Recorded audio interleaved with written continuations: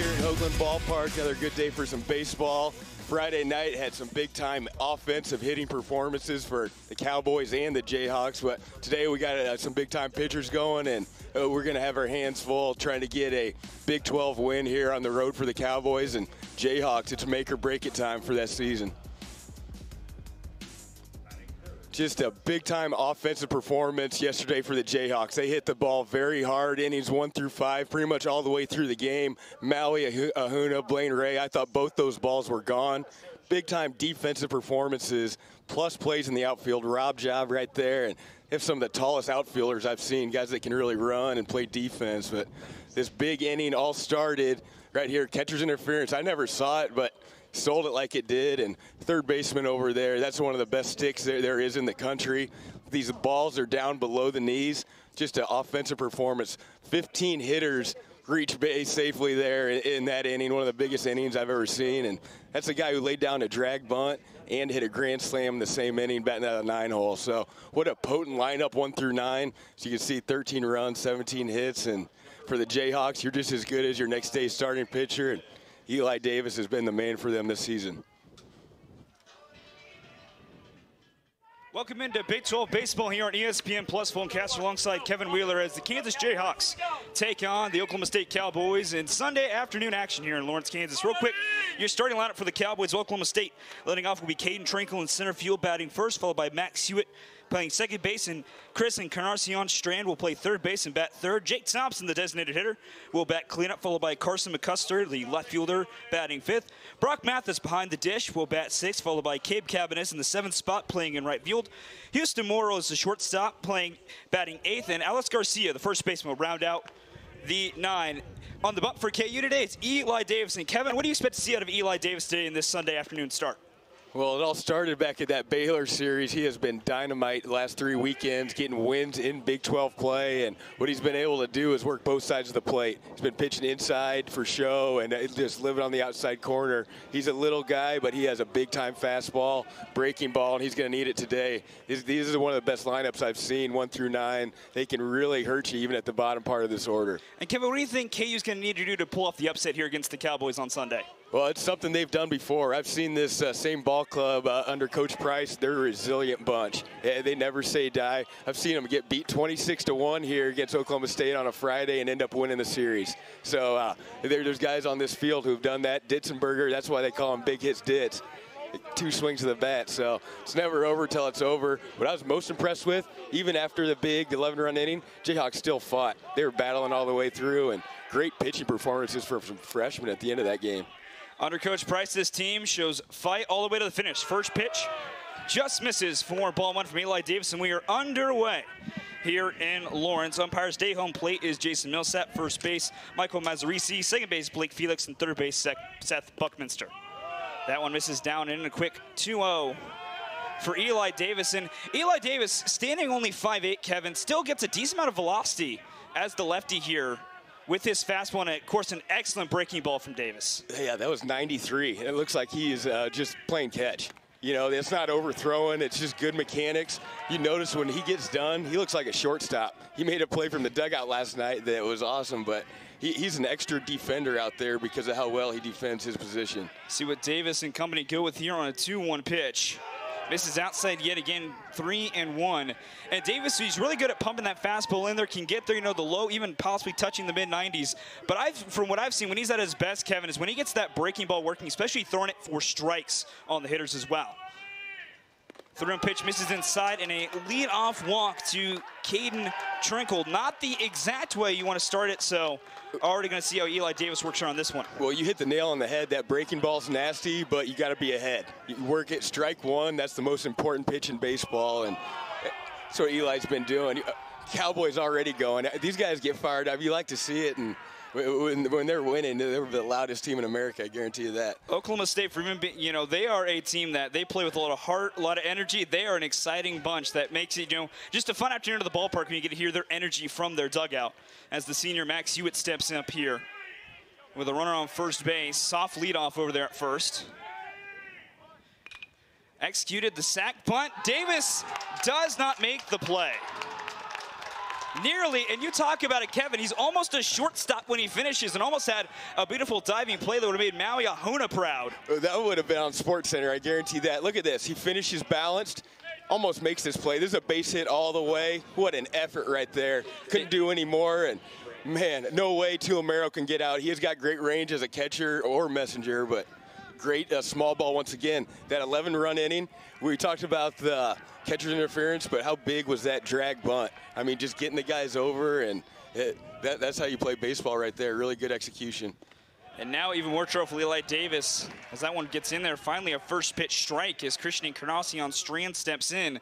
And this is where it gets even more dangerous. Runners on first and second, nobody out. If you're Davis, you probably want to settle down here, just not let this explode into a big inning and just stay within yourself.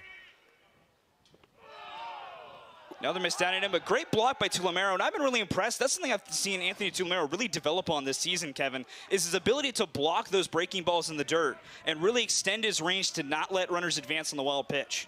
I'd say he's the most overlooked player on this team. Uh, with Maui out there and Josenberger with the hit streak, I mean, these are all three freshmen at key spots in the order. And Tulimero is the best defensive player I've seen. The guy, teams don't even run on him. I mean, we've seen teams that are just stealing bags on everybody, and he's got the respect already. But you hit the nail on the head. Nothing gets by him. He's a brick wall, and that helps out the pitcher more than anything. 1 1 from Davis. And that one right there, unfortunately, is a little bit of a broadcaster's jinx there. We're in there touting Tulimero's defensibility, and that one tried the backhand, skipped it up, and now it's even more dangerous for the Jayhawks here with a count now two and one. Runners at second and third, nobody out. Really going to need a bearing down moment here from Eli Davis if he wants to try and not let this inning explode, as Oklahoma State has a great opportunity in front of them. 2-1 from Davis, soft little grounder left side, and just a misplay over there at third by Messinger. And that is how Oklahoma State's going to get on the board today. So a defensive miscue from Skyler Messinger, and the Cowboys can take an early 1-0 lead. Still nobody out through the first three batters. That's a tough play. It's right in the in-between. You're not in, you're not back, but just a tough hop. And that base runner, he was getting down line. Even if he makes that play, I don't think you can get a guy at home. But that was definitely the, the option for Messinger. But that's just big time base running. Look how they got the run. No real hits. That bunt actually is a hit, but the bunt's more demoralizing than anything. They're giving you an out, and they get a, they get a free runner. It's truly it's something there you want to try and make them pay if they're going to give you that out on the sack bunt with that one in there for a strike. And circling back to that bunt attempt, Max Hewitt almost made a terrible mistake. You want to get that ball down, get it right into the ground, keep the bat head up, and he popped that one up. And just because Davis wasn't able to make the play, the runner gets on, and now a few more things happen. It's those little things that can pile up into the bigger ones. As Oklahoma State now leads with that one missing a little bit outside there well, I could, Davis. I can be more with you. Eli is a guy that's tough to even bunt, you know, if you pop it up. But what's even more important is the angle. If that ball wasn't perfectly angled down the line, then that might have been a double play ball. It, so the angle actually even more important than getting on top. Truly nice little cut there, swing and a miss. So Eli Davis finally really going to get ahead of a batter here. And so he's given up the one run here, but this is where you go into the idea of you don't want to give up the crooked number. You know, if Eli Davis can wiggle out of this, only allowing the one run, or you know what, even if it gets to two, it's not the end of the world. But what you want to keep here is, you know, three or four or five, and really put your offense behind the eight ball before they've even, you know, towed in the in the batter's box. Another one spiking there, but and it looks like Eli Davis now twice as short armed that ball, trying to really get it in there those aren't even getting to home plate. I mean, those, that's a release point right there. The, the one thing, it's just uh, when he's missing, he's missing down, which is good, but th- those balls are just impossible to block. That looked like a pop up. I think it was up in the air so long. And But what I think about with Davis, last two starts, the wind's been blowing out. He's had almost shutouts with the wind just piling out of here. Today, the wind's kind of swirling, but more blowing in, and his velocity's up. He's at 94 miles an hour but that's not necessarily a big help. Eli with that curveball, like you said, pitching into that wind, that was a nasty pitch. Dialing up 10 strikeouts against TCU. I mean, he's been doing stuff that we haven't seen for quite a while. So, little guy, but he's got a big heart. Oh yeah, Eli Davis is one of those guys. Who, you know, you don't measure them. You know, he might you might look at him. Not, it doesn't look like you know a big time pitcher here. As he issues the walk there. Still no outs in the inning as Eli Davis is having a little bit of trouble to start. But as we said, Kevin, this is guy, you know, you look at him only standing 5'8", you know, a young guy, doesn't look imposing or intimidating. But, man, don't challenge this kid's toughness. I have watched over, you know, over the time here at KU, this kid fights with a lot of heart. He'll battle. You know, he's one of those guys who he'll go to the biggest guy in the yard and still try and take him on and fully thinks he can take on anybody at any time and you love to see it. That's that's what you want from your pitcher. You know, it's not a co uh, cocky type thing. It's just when he gets focused, he is locked in. And I think the strength of this team is defense by far. And look at Tulimero. You, like you said, he's just trying his best to block it. There's another one that just choked that release point. It, you know, trying to be a little too fine. What I think of here, the best uh, third baseman I've ever played with, Travis Metcalf. He was in the big leagues and uh, quite a while with Texas Rangers. And I remember pitching in the ninth, and big spot, he made an error. The only error I've ever seen him make the whole time. And all I kept thinking was, man, if I could just get him another one, and got him one, and he got double play that next pitch. So same with right here. You could get Messinger another chance. That's your best defender out there. You got to use your defense. You're going to win this game. I would agree with that. We'll see what Kansas does here. Again, bases loaded, nobody out as Carson McCusker is in here with a 1-0 count. That one missing inside is Davis just, and he, he's had a few of those short arms, Kevin, but he's also not missing, the, outside of those short arms, he's not missing that erratic around the zone. It's like he's just a little bit off here on Sunday afternoon. I don't know if you saw the recap from yesterday, but that damage done, every pitch was below the knees. It's a tough team to pitch to. Soft little grounder up the middle. KU will probably only be able to, they're going to try and get two, but they cannot. And the high chopper there makes it a little bit difficult, but KU is able to get it out. Runners to the corners, the runner just score. But now you can have a more classic double play setup as well with Ahuna up the middle along with Cosentino and see what they're able to do here to, again, limit the damage at just two runs. Well, good job for McCusker just getting in play. You know, the ball put in play there, you get a run. But for Eli Davis, that's his best pitch of the game. He forced contact, and that's a big-time hitter, got out on his front foot. So uh, there's a good sign. First time that not trying to blow up by a guy, but using that guy's uh, big-time uh, offensive ability against him. And Davis, again, just again, just a little too fine. Also, you know, you can always make the argument of being squeezed a little bit early on. We have not really seen the zone set, so I wouldn't go so far into the squeeze argument yet. No, well, the thing is, when you're consistent, you start hitting the zone. I've seen Greg Maddux get a foot off the plate because he just pounds it the whole time. So you prove it, you're going to get, they're going to assume it's going to be a strike. So right now, if you're bouncing balls two feet in front of home plate, they're not thinking that the ball's going to be a strike It almost surprised them to be a strike. It's one of those things where if Davis can start pounding the strikes in a little bit more, get these hitters on their back heels. Right now, it's all Oklahoma State control as Mathis steps in here, and they're the ones on the aggressive, and Eli Davis is on the defensive as he tries to flip this around. And see, right there, that's the first bad swing, and that's even a terrible swing, but more of the off-balance swings I've seen from Oklahoma State here on here as Davis tried to work that one in. And 2-0 count. I mean, that's usually a hitter's count. You think uh, driving the ball, and you look up there, two runs, one hit. I mean, and what's that hit? A bunt? It's not yeah. like he's getting rocked. I mean, I'd say that's the last thing that's happening. He's one pitch away from getting out of this. He truly is. The 2-1. Missing yet again there is Davis.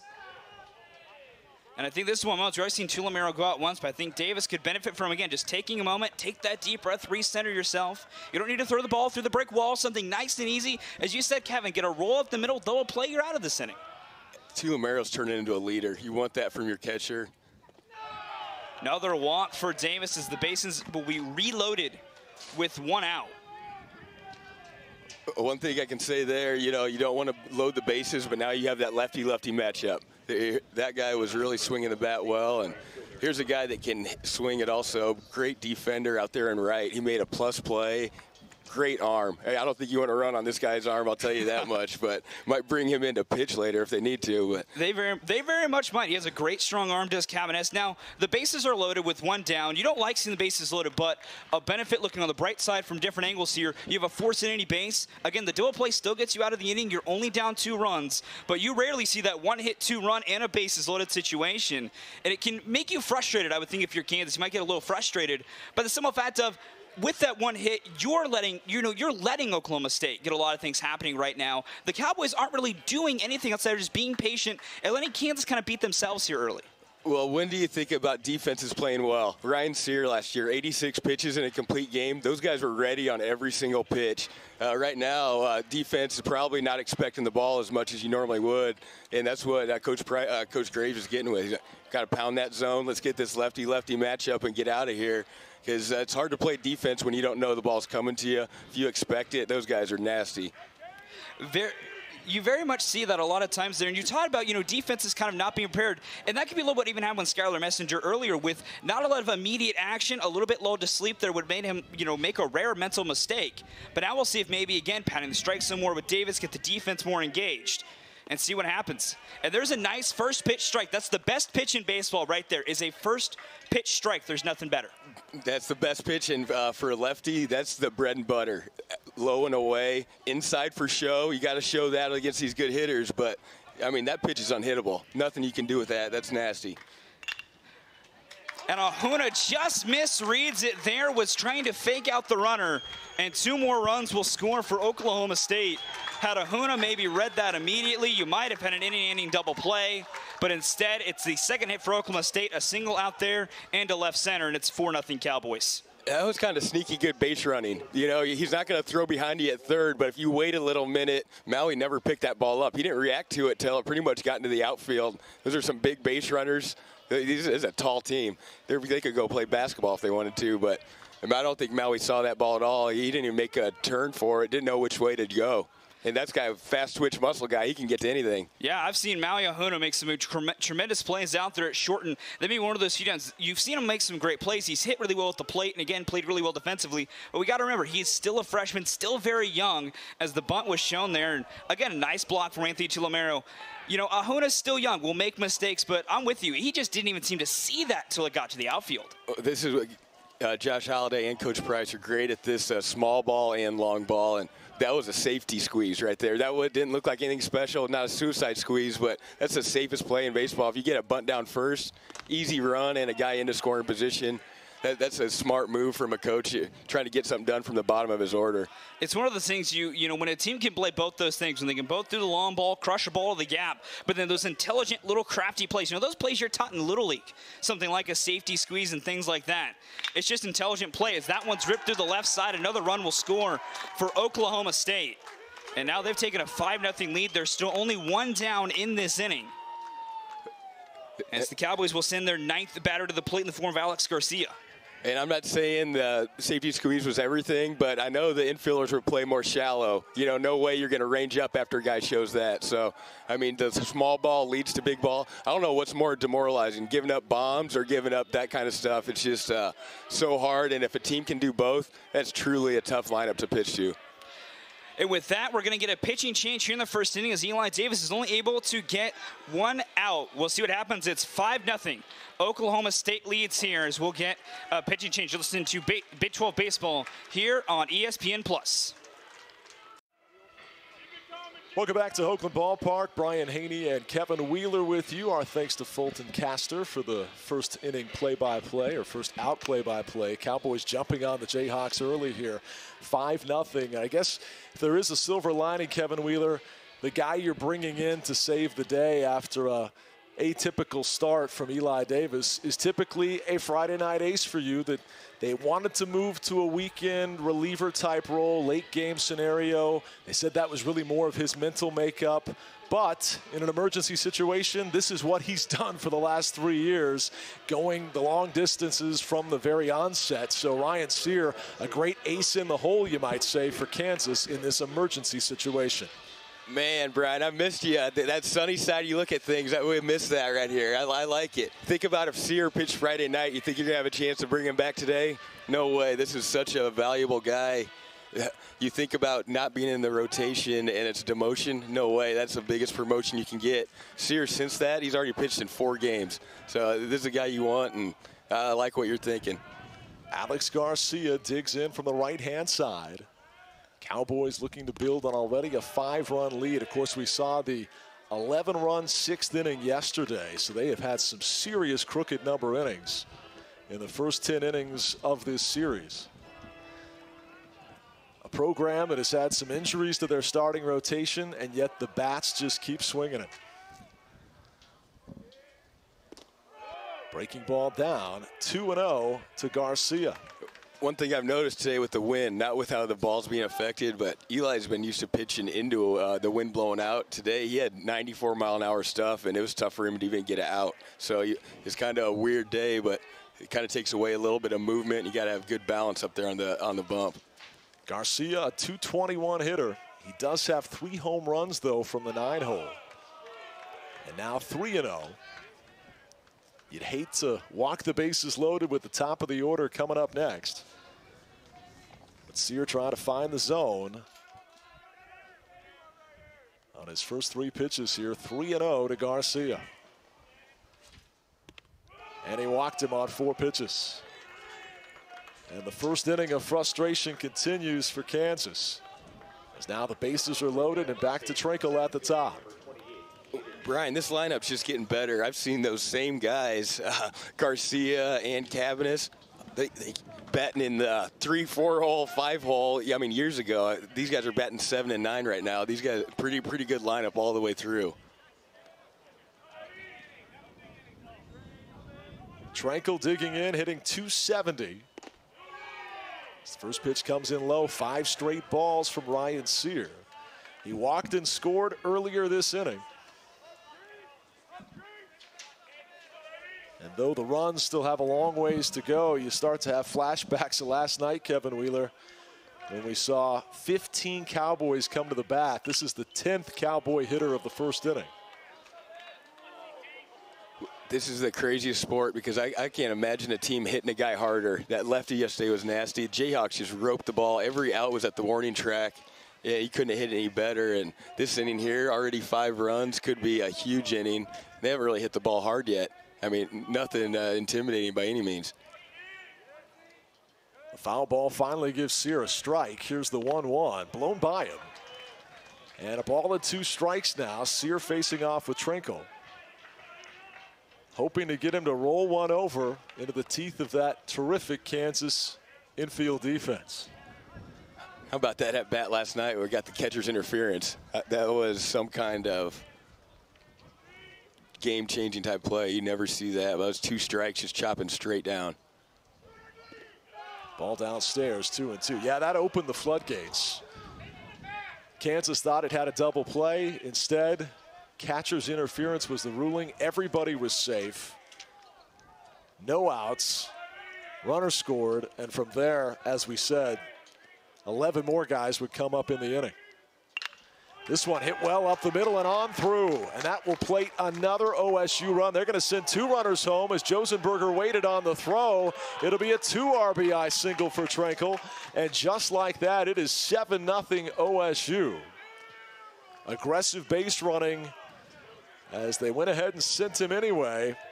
the throw took a little while to get in, and with that, now a seven spot hung on the Jayhawks. Great two strike swing once, once again, weighted back on the changeup this time. And like you said, I don't think this is a straight steal type team, but they're the best team I've seen at first to third, second to home type action. Got some big boys, and once they get those stri- striding out, can really run kind of deceptive speed on this team. So now first and second, still just one out. Max Hewitt, Cowboy catcher digging in next. He also plays second base where we'll see him today, a versatile guy. Hitting at 285 with four home runs and 36 RBI. He singled and scored earlier this inning. On a bunt that uh, Eli Davis made a diving effort for, got a base hit. It's this one well past the dive of Cosentino. They will hold the runner this time at third base. So no RBI for Hewitt. But the hit parade continues, and the base is now loaded for the best hitter, arguably in America, Christian Encarnacion Strand. You say you see something different every time you come to the park. That's two days in a row. One time in the order that a guy gets a base hit on a bunt, he's trying to sacrifice, and a base hit uh, as well. And last night was a grand slam. This is just a single, but those are two that rarely happens. And bump base hit led the way to uh, infield in and po poking it through. Encarnacion Strand skies this one, right side of the infield. What a gift this would be. Cosentino's got it. And a guy that averaged two RBI per game in the month of April and was the national hitter of the month just popped up with the bases loaded and only one out. Like manna from heaven, that ball falls into Cosentino's glove. He's just trying to do a little too much. And how, how big time is that player? There's so many scouts here today for batting practice. They were all watching that guy. That's just one of the guys they're watching. But, I mean, that, that's a top tier type player. He's had uh, one of the best seasons uh, I've ever seen over there at third base. And these are some great third basemen we have here this weekend. We're talking about a player with a slugging percentage of 770.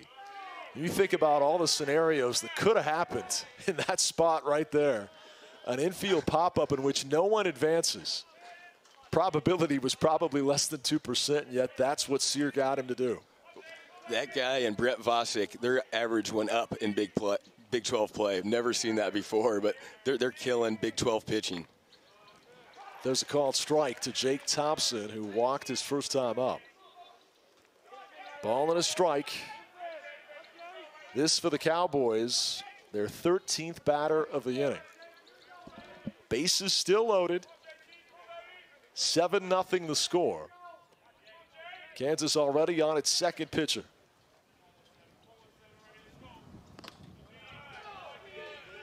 Breaking ball misses outside. Thompson at 343, three homers, 21 RBI. He's scored 15 times. His on base percentage, 481. We saw it here last night. Three straight hits, including two RBI swings for Thompson. And we referenced it a couple of times when you're hitting behind Encarnacion Strand and he's getting all the ink, all the headlines. Folks forget how good this guy actually is. But 481 on base percentage is just fantastic. You, you, couldn't have put it more on the head. When I think about a good hitter, first thing, who's hitting behind him? You know, and this guy's a professional type hitter. He'll give you a good at bat.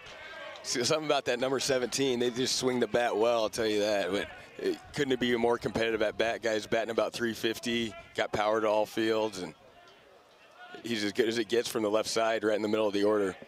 You thinking Kris Bryant with that reference? Uh, Maui, Kris Bryant, uh, Shohei, Ohtani. There you go. The 3 2. Lifted down the line to left field. If it's fair, that could clear the bases, but it's just foul. Thankfully, mercifully for Kansas, it's foul by about a foot. And 3 and 2 on Jake Thompson as his eyes got real big, like he may have just cleaned the bases that ball was struck, just kept tailing over there. And where Brett Vosik is playing uh, against a lefty, no way. That's probably a triple, but that's just a really good aggressive hack. Wow. Yeah, double it would have been, but that ball is accelerating off there. It's a good two-strike swing, and we got quite a battle right here. It's still early in the game, but I mean, it, this game's not nearly over. If you can minimize it to seven, sounds crazy, but that's actually a, a big win the way this inning's going. And talk about 17. Uh, it's Shohei Ohtani. That, that's why I like that number. I've never seen a hitter get that foot down earlier and still have that kind of power. That, that guy's the best, best in the game. The 3-2 as the runners go. Bounced right side. Can Cosentino get there? Yes. Knocks it down. Fires, but not in time. And they're going to send two Cowboys home. The aggressive base running continues as Trenkle comes in to score as well, in addition to Garcia. And so on an infield single, they score two. Of course, on a 3-2 pitch, they were off and running anyway. Cosentino doing all he could to smother it. But the Cowboys, with the pedal to the metal, now take a 9-0 lead. You hit it with the aggressive, but it's not just crazy aggressive. That's two outs. Really smart baseball right there. And if you go, you're forcing a, a play at the plate. And no way you're going to be able to make that. Great play by Cosentino just to keep that ball in the infield. First pitch strike to McCusker. He may have had the biggest defensive play of this series to this point. A rob job on Blaine Ray at the top of the wall that could have been two, maybe three runs if it gets over the wall. And it really swung the momentum in the middle innings yesterday, preceding the 11 run sixth that the Cowboys posted. And that's not to say the 11 runs wouldn't have happened if Ray's able to double or homer there. But the point is, momentum was wearing crimson and blue until that play, and then the big offensive onslaught that ensued. But who would have thunk it after 11 in the sixth last night, nine in the first here today?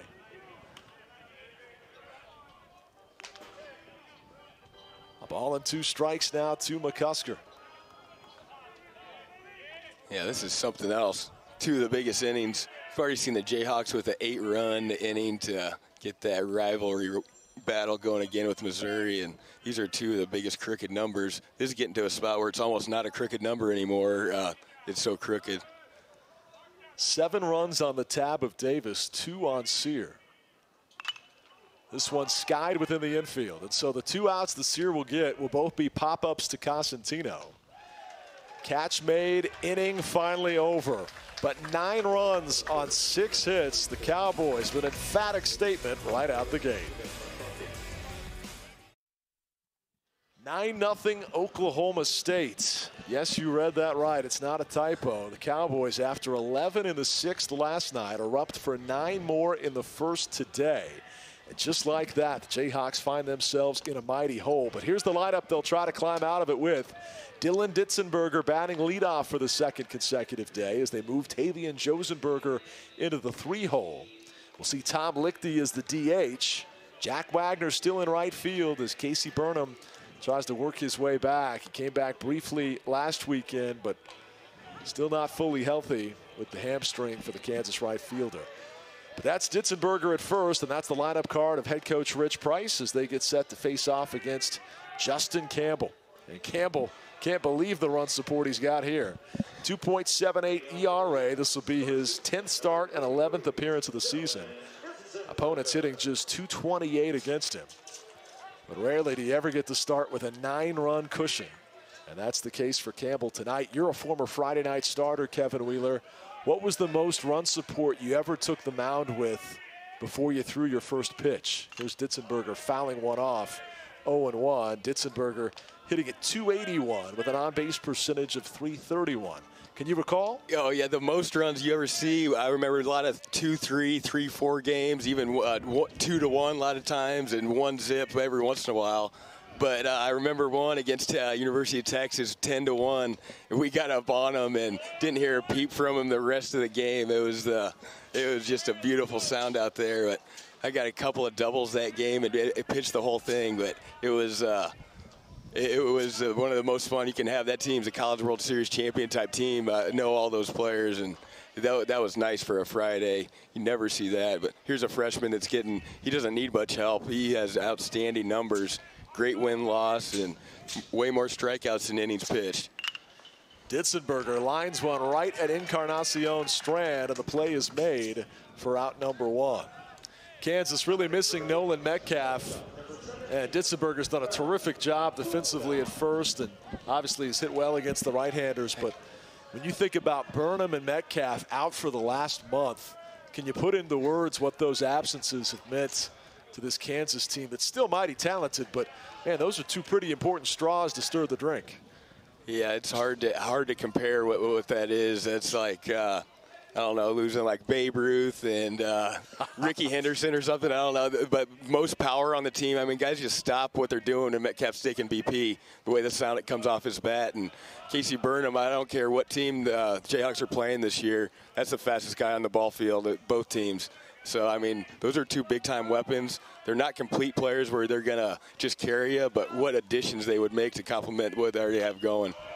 Maui Ahuna fouling one off to go down one and two.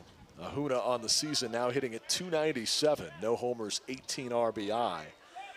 Cowboy fans don't want to hear about it as they deal with Nolan McLean's back and talk about Parker Scott, Wroblewski. I mean, they've had so many injuries to pitching, as we saw last night, a reliever being pressed into his second start of the year. And what a great job turned in over the course of seven plus innings out of Mitchell Stone. So both these teams try to overcome injury hurdles. But down nine, you sure would love to have the mighty Casey and Metcalf in the mix. There's a called third strike, and they will ring up and sit down a Ahuna. Tremendous start on the mound for Justin Campbell. Well, I think Maui had the best swing of the night last night, and you could see how they're defending him today. But with two strikes, wow. I don't know if that's on the plate or not. It's just a tough one to even uh, foul off. This is a tall pitcher. He gets a little bit of movement on the ball as well, over the top, and with two strikes, that's nasty. But I really like what they did in left field. He was guarding that line. First pitch swinging is Josenberger. He promptly grounds to first. The race to the bag is won by the Cowboys, and that will retire the side here in the first. Nice place made over there by Garcia. 9 0 Cowboys, one inning deep. Welcome back to Hoglund Ballpark. 9 0 Cowboys. Oklahoma State erupting for nine runs in the first inning, knocking the starter Eli Davis from the game. Jayhawks had to turn to Ryan Cyr. Sear able to get the final two outs of that first inning, but tagged with a couple of runs on his own tab. Neither earned. Seven earned runs on the line of Eli Davis, who been pitching so well of late. You hate to see his ERA balloon to six. Here's Mathis grounding towards short. Nice play by Ahuna across in time for out number one take a look at this pitch, Brian. Talking about summer ball and wood bat. This bat would be in a million pieces right here. Jam job. Look at that movement. But Maui, his feet are fantastic. On the run, that's a big time play against a good runner. That's how you play ball. I asked you last night about what's the message in the Kansas dugout when you give up 11 in an inning, and I imagine it's similar giving up nine, especially when you've got the whole game in front of you offensively. But what's the message from a Cowboy perspective in the hopes that your guys don't take their foot off the gas and get a little complacent, fat and happy up nine. What's being said in Coach Holliday's dugout right now, whether it's Josh Matt or Robin Ventura, talking to these guys about staying aggressive and staying locked in despite a nine-run lead?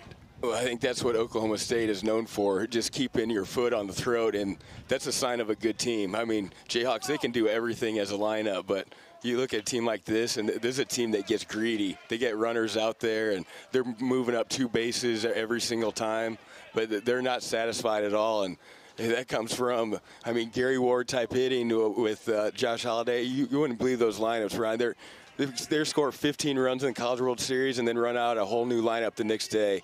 Uh, lefty righty matchup. I mean, that, that's what they do, just uh, all the way through the lineup. Swing and a miss, and Ryan Cyr finding a groove here as he makes quick work that time for out number two of Cabbiness.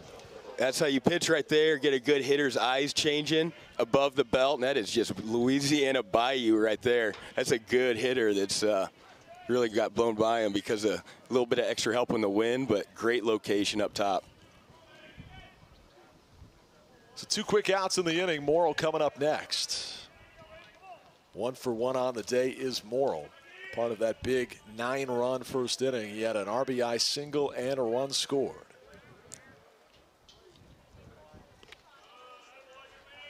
Two and zero oh quickly to Morrill. And I like what you're thinking with Cyr. I know the game's not where you want it, but he's actually a fly ball pitcher. You think sinker, slider, get some grounders, but he gets a lot of fly balls, got some pop ups, and with that wind blowing in, good guy to bring in the game. Bouncing ball past the diving glove of Messinger. And a hot day continues for Morrill. Already two for two, already a multi-hit game. And we're just in the top of the second. Before either one of those hits, he did a fake safety squeeze. You just put that in the mind, and uh, you know you're going to play a little more shallow against a guy who can show that kind of. And, and he's hit two ground balls. That I'm not saying they would have been outs, but it definitely have an infield that's closer to him. What a weekend for Morrill. Comes in hitting 208 and his first four plate appearances last night, he gets on base every single time with a single and three walks, and then two hits already today. And really, you look at it, it's been the bottom of the order that, that's gotten to Kansas in some key moments. Last night, the nine hole hitting second baseman, Matt Golda, batting less than the Mendoza line, hits a grand slam to fuel that 11 run sixth. Now Garcia, he swings and finds a gap in right center. Josenberger won't get there. On one hop, it's off the bottom of the wall. They will send the runner home, Morrill, and he will score from first base. 10-0 Oklahoma State. The hit parade continues for the Cowboys.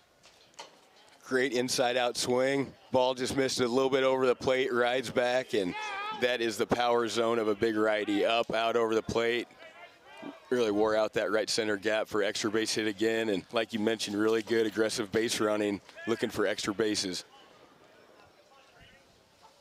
Now back to the top of the order again. Third at bat already for Trenkle today, and here we are in the top of the second. First pitch is a ball outside, 79 on the gun.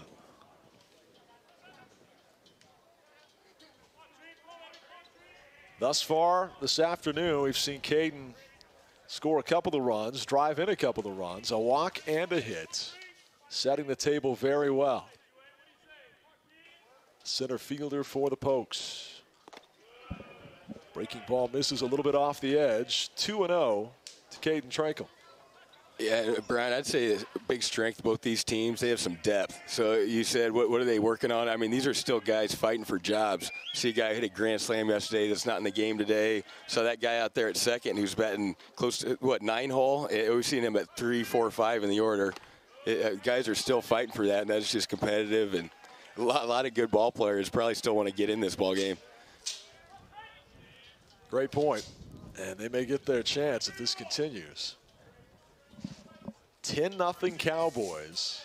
Cyr trying to limit the damage to just a single run after nine in the first. Two and one. Now three and one. Cyr did a great job last inning in getting their most dangerous hitter, Encarnacion Strand, to pop up with the bases loaded and was off and rolling to start this inning. Prior to the 8 9 hole hitters barreling up twice to drive in a run and send the top of the order up here in the third. Foul ball runs the count full, though.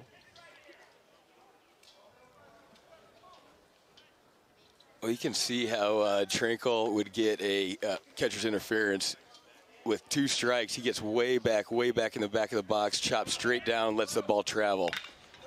Another shot toward the gap. Can Josenberger get there? No, it's over his head and off the base of the wall. 11 0 Oklahoma State. Garcia comes in to score, and Trenkle coming up with RBI double with two outs, three consecutive hits by the Pokes. Another good looking freshman. How about this swing? Low and away. That's not a bad pitch at all, but with two strikes, couldn't get a better uh, swing. Just getting the ball put into play, hit hard, and really good at bat.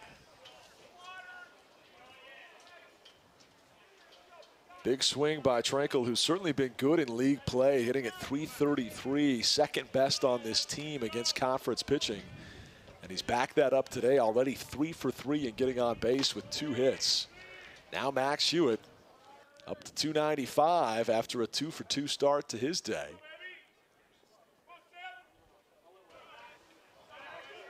What did you think of Hewitt's at catcher compared to second base, and what does it mean to have that kind of versatility? Yeah, it kind of reminds me of Robbie Price, or uh, Rhino Price, Ryan, where uh, he can play second, play third, catcher. I've seen him at all three of those. And if you have a big time bat, big time power, you can do that. That's a great utility player. Uh, I, th- I think he's a really good ball player. And what he did in the first inning has set the tone of this game. He was sacrificing down third, got under it a little bit because of Eli's heat, but the angle was perfect and just enough uh, to get a team going. Small ball leads to some uh, long ball. A foul straight back. Two and one to Hewitt.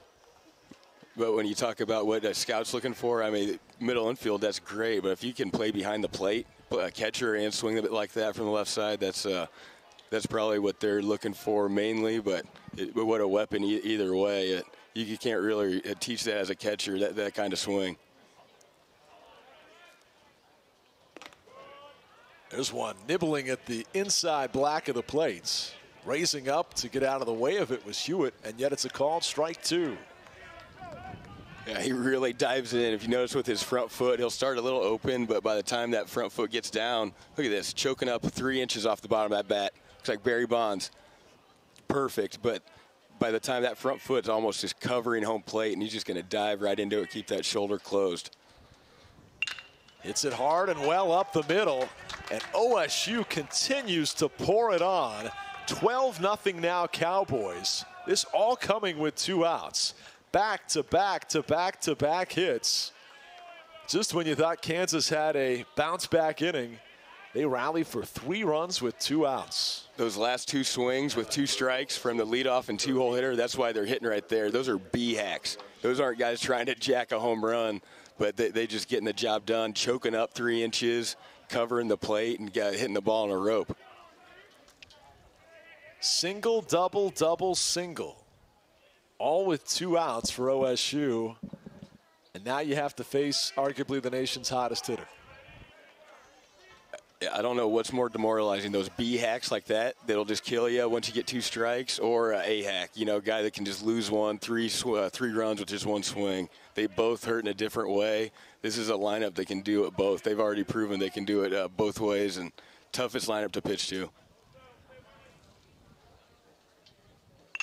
Bouncer up the middle. This should end the inning. Cosentino takes it himself, steps on the bag, and that will retire the side. But three runs on four hits, all with two outs. 12 0 Oklahoma State. Skyler Messinger to lead things off for Kansas. Jayhawks find themselves down a dozen, but will bring up three, four, and five, or rather four, five, and six this inning in a new look lineup in which Josenberger's now hitting third once the hitting streak came to an end. And you move Messinger into that cleanup spot. And got some veterans here in the middle of the order, including Skyler. But with the shift on, he hits right into the shift, and Hewitt's got it. Four to three on the putout. Max Hewitt to first baseman Alix Garcia just like uh, at the bottom of this inning, getting out of a jam with that shift. Cosentino, now Hewitt again, perfectly placed. Those are hard hit balls, usually base hits up the middle. Vosik, who homered last night, sees the first pitch strike come in 0-1. Vosik with his second home run on the season. It was a solo shot to lead off the second inning. And there's a big fly with one out in this second inning. The ballpark will keep it in. The wind knocking it down, and that's a can of corn in right field by Cabbiness for out number two. Yeah, I know you were worried about the scoreboard after Vosik just took a pounding to it yesterday, but I thought he hit a hole right through the brick wall. That's how hard that ball was hit, but that was just one run, you know, and that was uh, a great swing, about the best swing I've seen all year. But that's kind of how the game went. Uh, they have a 15 at bat uh, inning, and Vasa gets a ball like that, and that, that's pretty much all you can score. It's just a crazy game, and just got to keep playing hard. Now Anthony Tulimero sees a first pitch strike.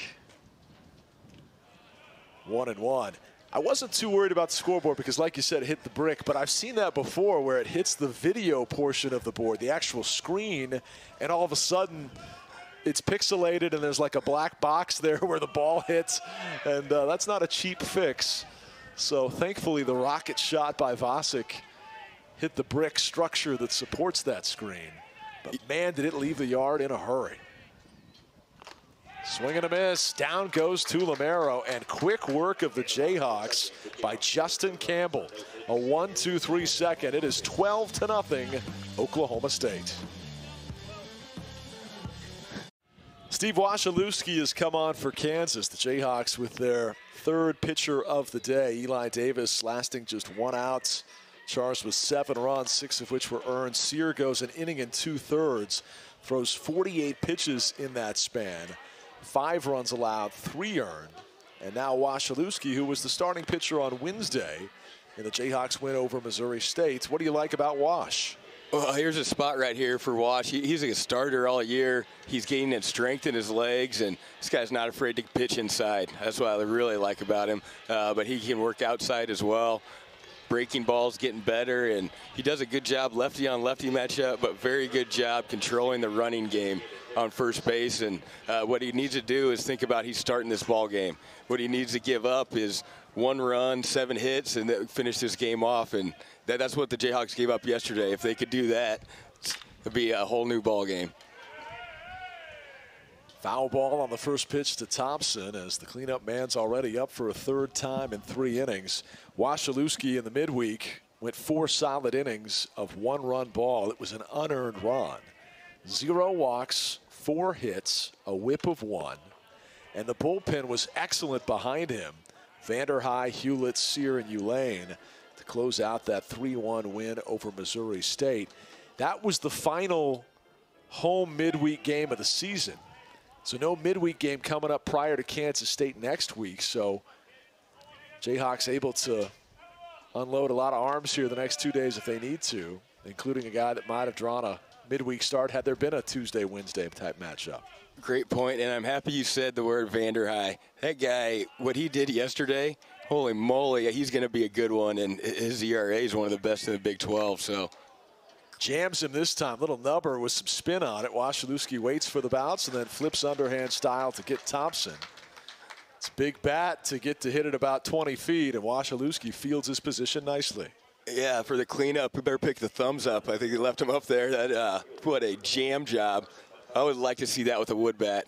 That's what I like about Washilewski. He's not going to blow it by you, but he just shattered that bat if that's a wood bat. It was closer to hitting it off his fingers than it was the barrel right there. That's uh, and you think about it, why? He was ahead. 0-2 count, working ahead. How much better does that make you as a pitcher?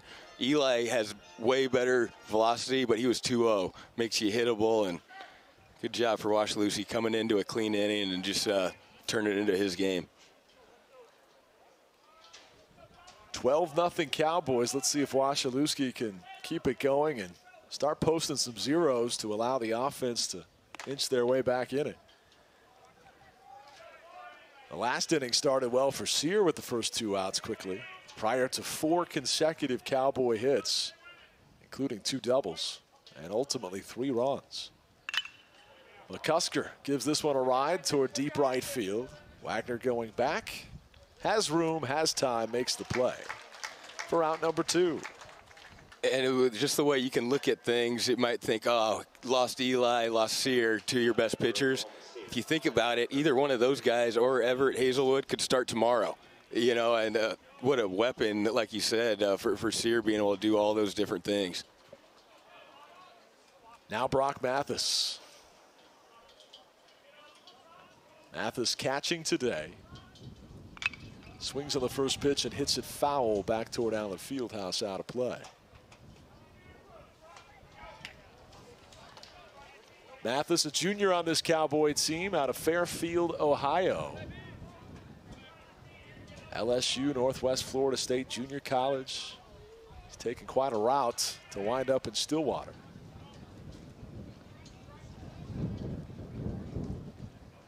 Oh for 1 with a walk and a run. He, he hits with that LSU style, especially for a catcher. Seven bombs for a catcher, and he's not even playing every day by any means. And most of the time he is, but he's a big time power bat at the bottom of this order.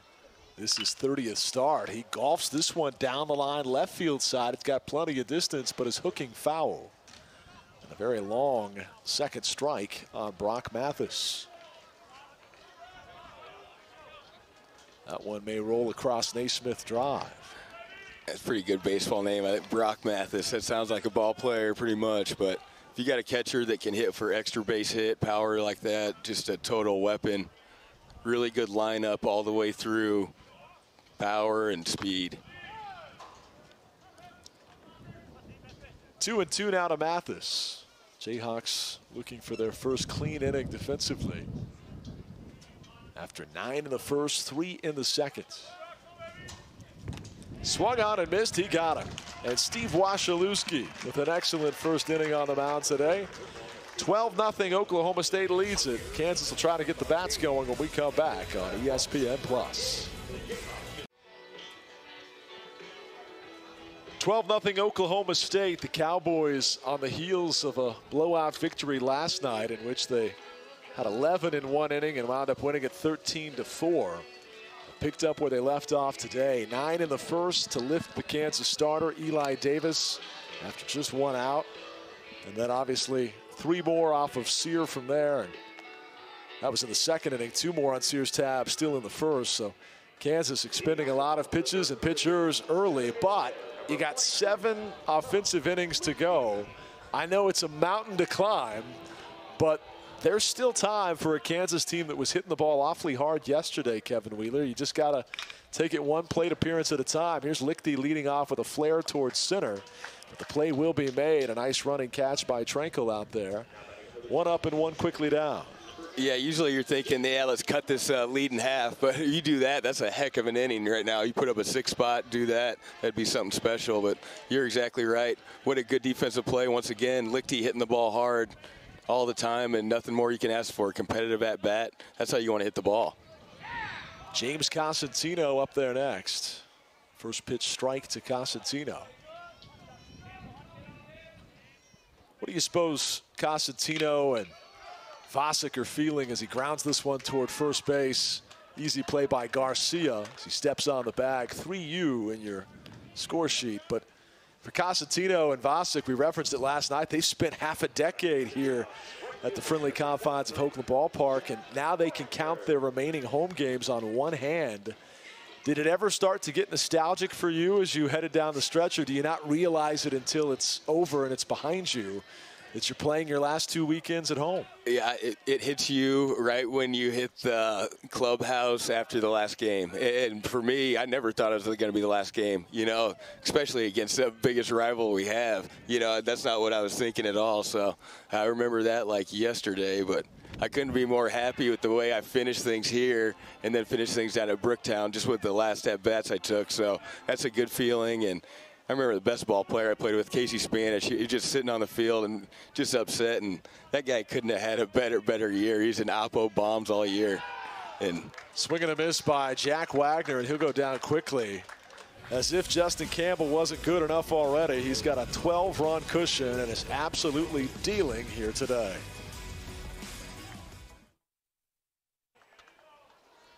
12 0 Oklahoma State as we move on to the fourth inning. Cowboys with 12 runs on 10 hits. The big damage coming in the first.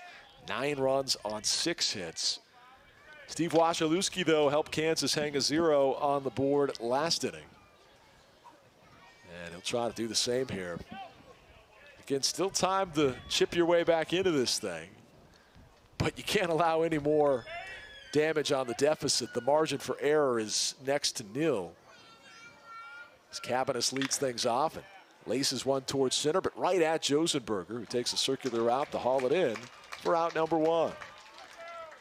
Have you ever seen anything like this, Brian? Going into the fourth inning, guys getting ready to get up onto their fourth at bat, and then for the Jayhawks, you got a couple guys that haven't even seen the plate yet. Don't even know if it's going to be a good game yet or not. And these guys are already having a day. It is just never seen the at bats more lopsided. It's a great point. I mean, as impressive as Oklahoma State has been at the bat, Justin Campbell's been just as good on the mound. And 12 run cushion or not, and again, he had a nine run lead after one before he even took the mound. He's been outstanding. How much of a factor is that, though, in taking a deep breath, knowing you've got some breathing room because he just has been in fuego ever since his first pitch? Well, this is how good he's been. I, I, don't remember if we even introduced him. He's just been dealing like pretty much nine pitches, strikeouts, but quick. I mean, tempo. That's what you want, and especially with that lead, like you said, that's you always want to force contact, make your defense work. But especially in this situation, the only thing that can really hurt you is base runners, base on balls. You just want to attack that zone, see how far you can hit it. The wind's blowing in today. Uh, you can put it on a tee, and it's not going to go out of this ballpark. So, just smart pitching.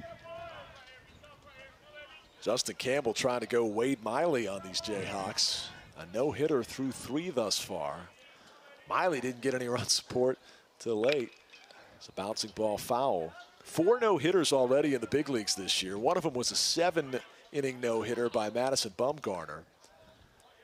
I don't know how you feel about that historically, now that we're having all these seven-inning doubleheaders in the bigs. But uh, still, four no-hitters by May the 7th is pretty unheard of. I had one uh, seven inning one hitter in Hawaii, my first ever start actually. Uh, so I'll count that. That's fine. I'll take that. But uh, what I was really thinking of the other day, you mentioned that you said Baltimore Orioles had a no hitter, and it just kind of struck me weird. I was like, I have never heard those words uh, in the same sentence before, not even close to that. And the guy who threw it he was just happy to get to the eighth inning. That was his goal. He's never pitched past the seventh inning. It's a different uh, baseball now where guys aren't going that whole game unless they have a no hitter opportunity. And something weird happened with that with that guy, and it was a crazy story with that last one for the Orioles. Fly ball will reach the bullpen area out of play. Three and two to Morrill, who's been on base six times already this series and raised his batting average 22 points from where he started the weekend. You're talking about John Means, who's a Fort Scott Community College, Edgerton High School guy from just down the road. Right. Gardner Edgerton. But you think about it, it was a no hitter, but you know what? It also it should have been a perfect game. How many of those have happened? Almost none. But he was one ball getting by a catcher on a strike three from a perfect game, and it was a wild pitch, wasn't it? It was wild pitch. But it, it would have been pass ball. I don't know what you call it, but uh, strikeout's what you call it. Morrill just continues to rake. He's going for two bags here on a one-out stand-up double, and he'll get in safely. Three for three today after being on base four times yesterday. What a weekend for Hueston Morrill. Wow, what a swing. Inside out. This is how you hit a lefty right here. If you try to pull that ball, that's a weak rollover ground ball. That's nothing where you're overpowering somebody, but just smart baseball. Those hands are inside. Uh, hands get to the ball before the barrel does, and it's just a compact stroke. What I really like about Morrill, not so much defense, offense, but he can run. The guy is a good base runner.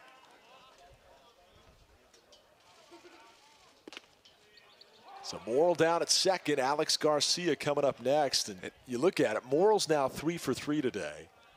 Garcia is one for one with a walk. They are five for five in the eight and nine spot at getting on base. And then you have all that danger at the top of the order. This is why Oklahoma State has put on an offensive clinic these first two games of the weekend.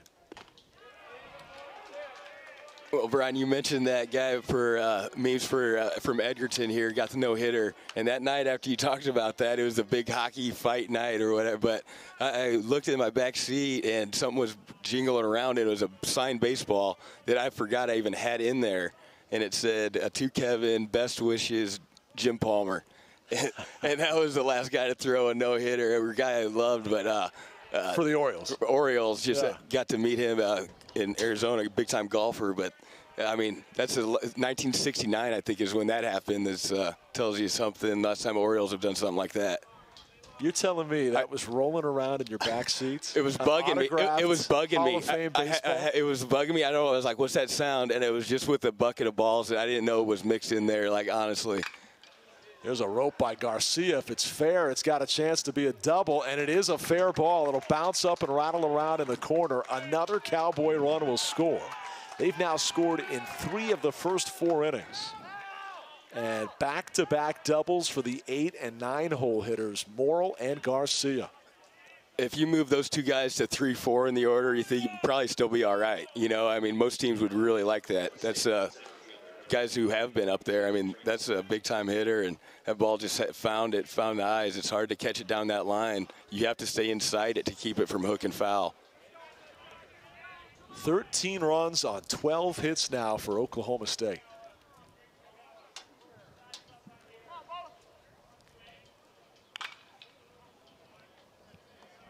Caeden Trenkle coming up there next. Seen plenty of him already. This is his fourth at bat, and we're one out deep in the fourth inning. You look at his line so far today. A couple of runs, a couple of hits, a walk, three RBI from the leadoff spot.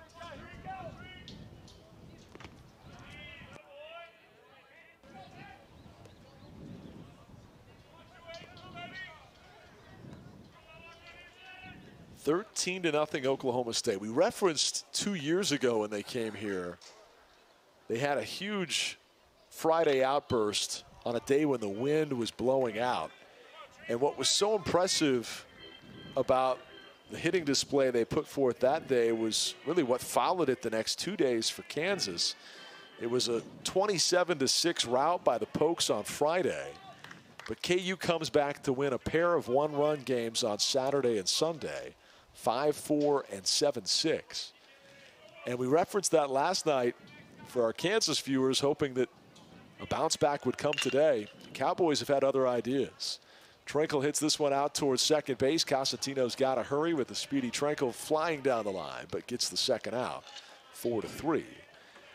And Garcia moves 90 feet away now to third base with that, two outs in the inning. That's a great point, Brian, and that just tells you about Coach Price. He's getting guys that are even moving uh, past the program. Both these teams going and I remember that series like yesterday. A guy got ripped. That's a six round draft pick, but one of the best players I've seen. And Jayhawks need a guy going to be pitching with the Red Sox this year to, to get that next win. And Ditz over at first, two swings of the bat.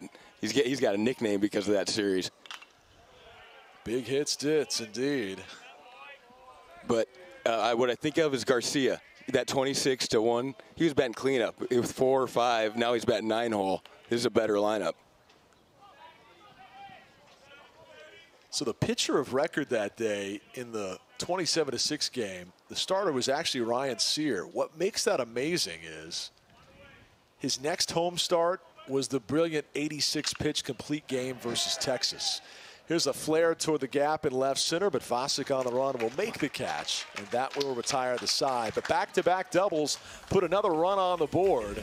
Now 13 to nothing, Oklahoma State. Decent amount of Cowboy fans on hand this weekend, and they got to be loving what they're seeing. 13 runs in each of the first two games of the weekend. And we're still in the fourth inning of this one.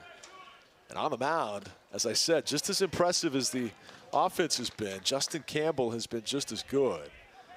A no-hitter through three, and you really don't start talking about no-hitters until you get through five innings, but in light of what just happened in Major League Baseball last night with Wade Miley picking up the fourth already this season. And Sean Manaea, the A's, I believe, had one into the seventh last night. We've seen him before, haven't we? All right, that guy is something else. The 2-0 to Ditzenberger hit foul. But I was referencing the run support is the crazy thing, and I don't think he's going to make it a whole lot farther with the no-hitter. You'd like to see Kansas put one across here this inning. But Miley didn't get any run support last night until the ninth which is an odd spot to be in as a pitcher who's hanging zeros and not giving up hits. And you're wondering, well, geez, guys, at what point is my offense going to help me out? This young man, Campbell, had nine runs before he even was handed a Rawlings today. and now he's pitching with a 13 run lead as Ditzenberger forces him to expend a lot of pitches on foul balls here. You got to admit, he does look like it's 1 0. I mean, he's locked in like it's a 1 0 game. That, that's a mentality you need to keep having defense is ready behind him. And I mean, are you talking football? This is a time of possession, just nightmare.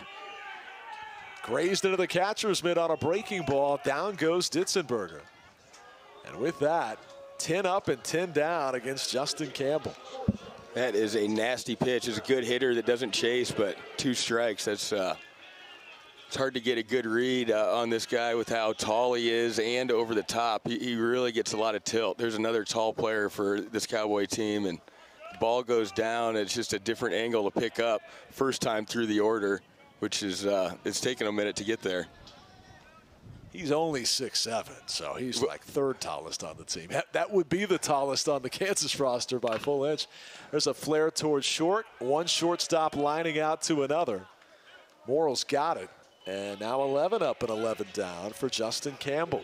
When I'm talking taller, I'm not talking height, how tall he is. I'm talking about his uh, release point, the height of that. When he lets sure. go of the ball, he's not a uh, three-quarter sidearm type guy. He's straight over the top and six seven. So I mean, it would be equivalent of like a seven-foot pitcher. Wow. Brings in the heat here to Josenberger, 92 on the gun and in for a strike.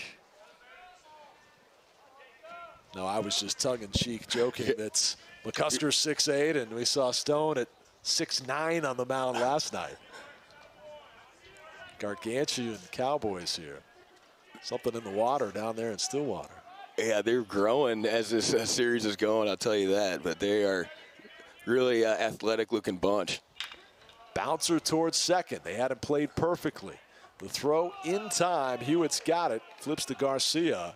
And he's been perfect through four innings, has Justin Campbell. 13 to nothing Cowboys on ESPN Plus. Well, Mama said there'd be days like these, Kansas fans. The Jayhawks seeing 13 runs posted in the first four innings, in Kansas right now being no hits offensively.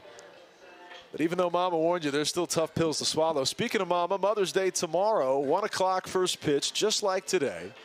So come on out, bring Mom with you.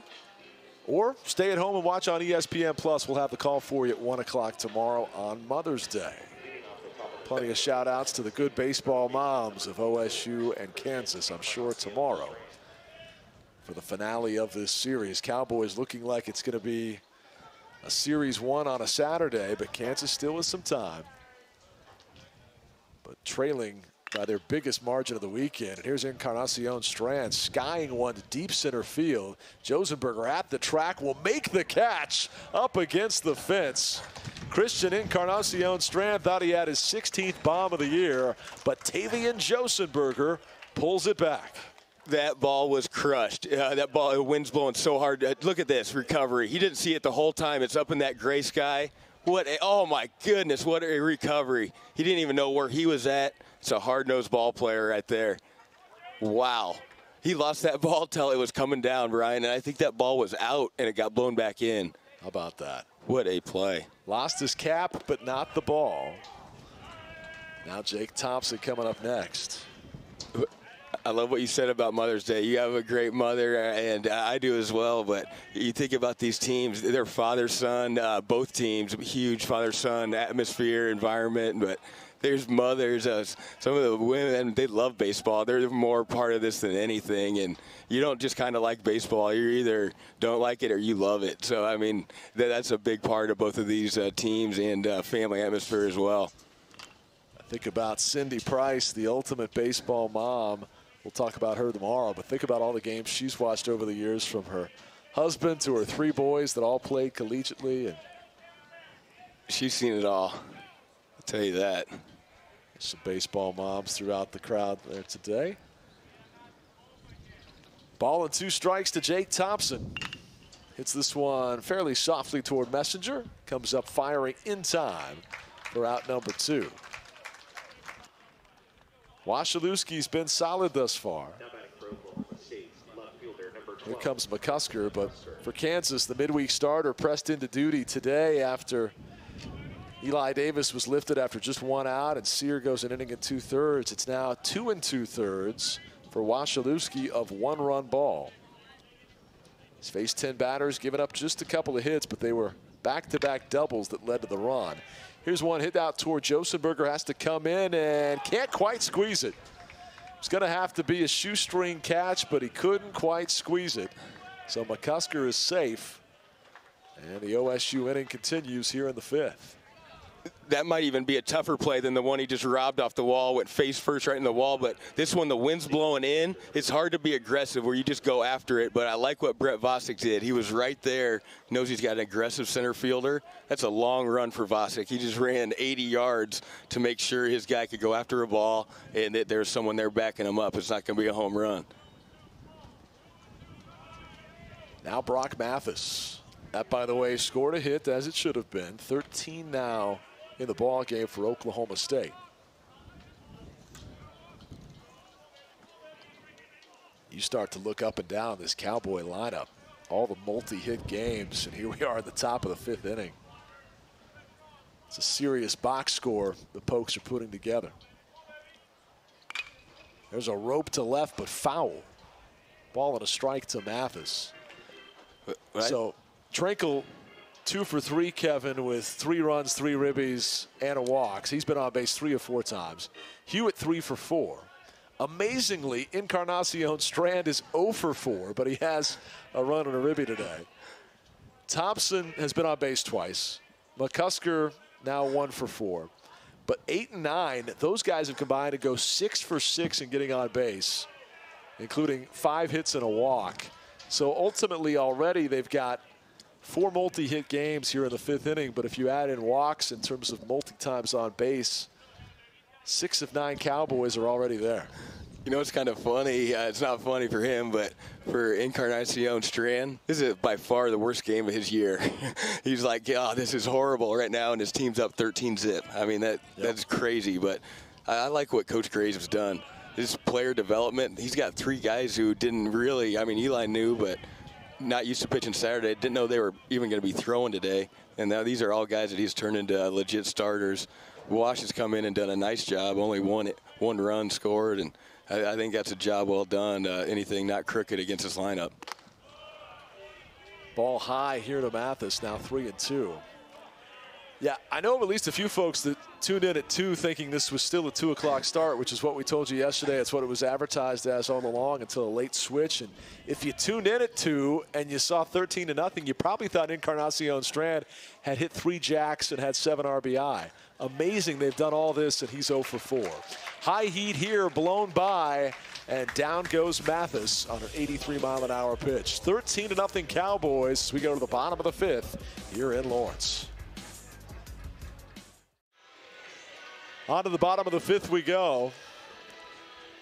Obviously, if you're a Kansas fan, you're hoping in chunks they can claw their way back in this. Three runs here, four runs there, make a game of it. If you're an OSU fan, the only drama remaining is can this young man keep it going? Justin Campbell is perfect through four, and he's pitching with a 13 run lead. I mean, it's stuff on both ends of the spectrum you almost never see a line on the same day. Like I said, when Wade Miley had his no-hitter last night in the bigs, he didn't even have a lead until the top of the ninth. In this case, a 13-run lead, and he's been perfect, 12 up and 12 down. Messinger trying to break that up here in the fifth. That's awesome too. But you think about that guy from Baltimore memes. Uh, what he did, 27 outs. What he 26 first pitch strikes. How much better did he get because he was ahead in the in the count? That's a great point. Here behind in the count, they get Messinger to fly one out to right side of the infield. Play made at second base by Hewitt. That's a big out of KU's cleanup hitter. Now 13 up and 13 down. What's it like when you're on the wrong side of a guy that's dealing like this in the dugout? How much are you sharing feedback with each other, as you always do, on, on where he's locating, what he's throwing, and does it start to get anxious as the innings go on and a guy is pitching as masterfully as we've seen Justin Campbell to this point? You couldn't have said it better because uh, th this pitching dictates everything. Uh, I've been in so many dugouts where you got a guy dealing over there. I remember Shane Komine just dealing. You don't think you're going to get a run the whole game, and those bats on the other team couldn't be more loose. They know if they could scrap together one run, that's enough. You know, so it's what do you do when you're up there now, hit a 14-run home run? I mean, that's a lot of pressure. Where you're on the other side, you're just so loose. You got some. I mean, even if you strike out, get him next time, you probably get 10 at bats this game. But it's uh, it's a totally different uh, mindset just because of what the score is, and you don't want to try to do too much. Just stay within yourself and try to get a guy's timing off and rhythm. Timing still on right now for Campbell. A 92 mile an hour fastball blown by Vosik. And he just made quick work of two veteran hitters hitting fourth and fifth in the Kansas order. Now two outs here in the Kansas fifth. I, I, do like his composure for a freshman. He's up there ready to pitch and pr pretty locked in, like his mechanics as well. But over the top, it's a different. I'd say you have to see this two times through the order to have a, have a good feel, just because uh, where that ball's coming straight down from. Cowboys ranked 20th in the country, but looking like a top five team this weekend. They enter the weekend fifth in the league standings. It's hard to imagine four teams better than this bunch. But they've dealt with pitching injuries. They've had to move some guys around. And clearly the offense hitting on all cylinders this weekend. There's a ball barreled up on, but right at the left fielder. McCusker's got it. Hardly had to move a muscle. And through five, he remains perfect. 13 to nothing Oklahoma State, and Justin Campbell having a career day.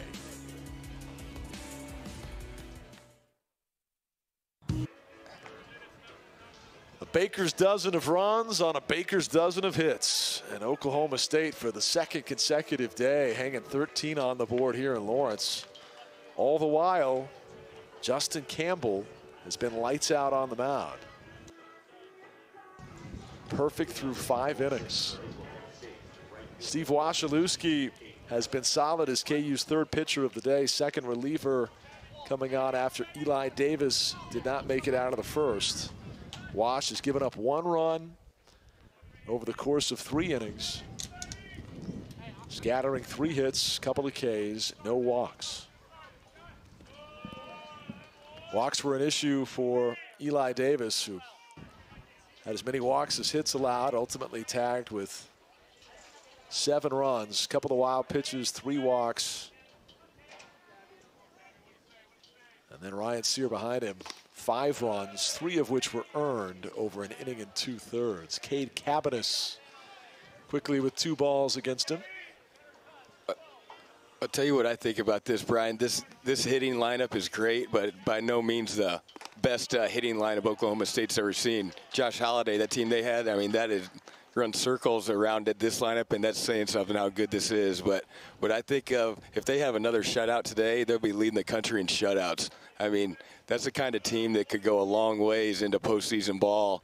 I don't care who you're playing. If, if you're doing that, shutting people out. And their offensive numbers are so high that you don't think about it, but what a better stat you could have is shutouts. It's a great point, Kevin. And when you consider the patchwork weekend rotation as well, because of some injuries, it's really an impressive job by Coach Holliday and his staff, Coach Walton. And they've had continuity. You know, this yep. is the ninth season for Josh Holliday with a ninth season as Rob Walton as his pitching coach. And, and you bring in the big league influences of Matt Holliday and Robin Ventura. It's not surprising they've enjoyed the great success they have. Three and two now on Cabbiness. And even more than saying, yeah, these are the best pitchers I've ever seen, that, that's a team effort. I'm not talking about guys getting shutouts on their own. I'm talking about guys throwing strikes, defenders making plus plays all the way around. You got to be doing a lot of things right. It's not just having the best arm in the country.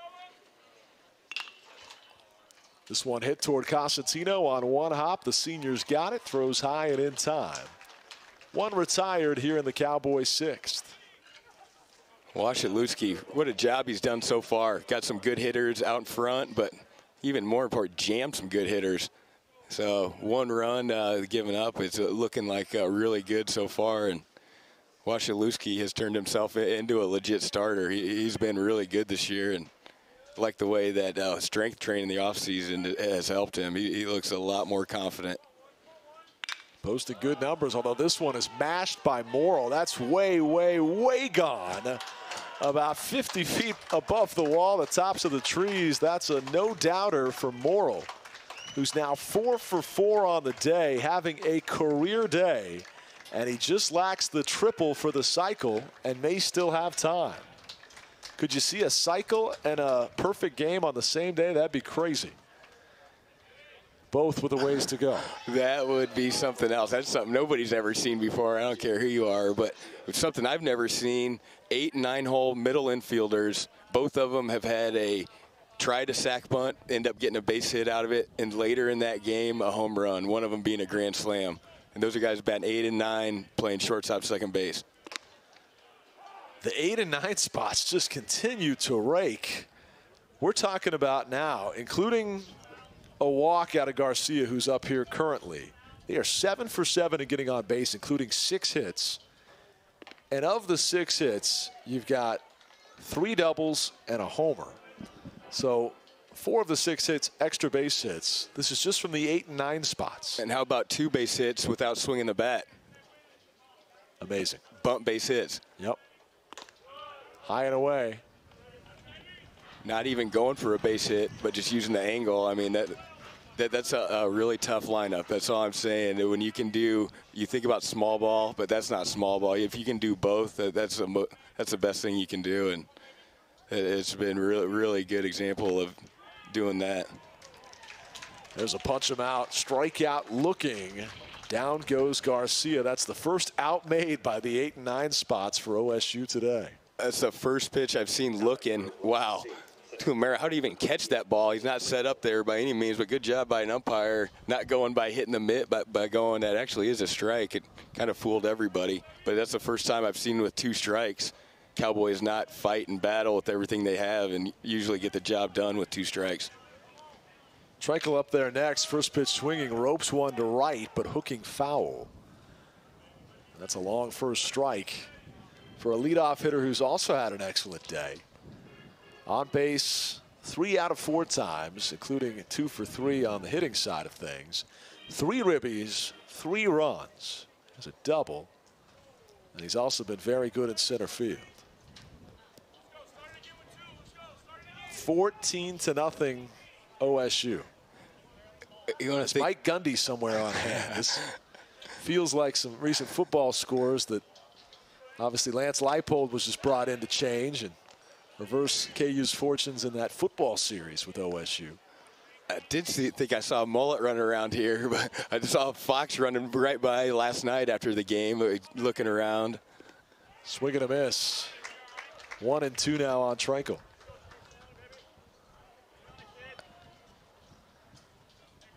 Well, maybe Kansas can put up a, a field goal's worth of runs and erase this perfect game no-no talk real fast in the bottom of this inning.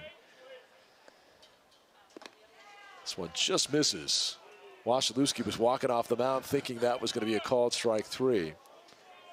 In the bottom of this inning, we'll see the bottom of the order. Seven, eight, and nine for Kansas. Lichty, Cosentino, and Wagner as they try to break up the groove that Justin Campbell's in the midst of. Now three and two.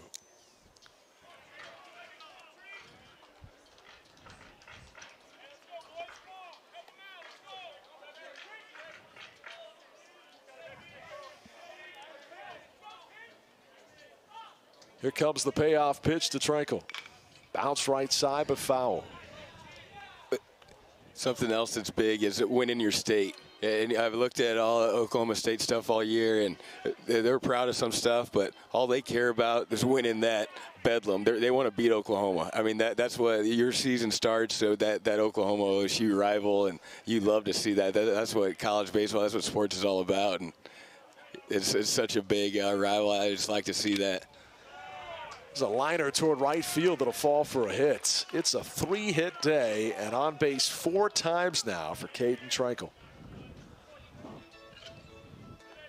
Really good swing on that low ball. What a hard-fought battle. I think that ball was actually a ball. It was so low. The one before from a lefty has got to cross the plate. Uh, but if an umpire thinks you're showing him up at all, I'm probably not going to get that call. I don't think that was the intention. But to me, that was uh, ball, it was so low, just a good swing. Justin Campbell is indeed making it happen as he sits by himself in the dugout. The guy's rolling along like he is. You give him his space. He's still got 12 outs to go before makes Cowboy history, but he has been dealing, and I suppose that make it happen hoodie he's wearing right now is pretty apropos when you're 15 up and 15 down on the mound for Justin Campbell.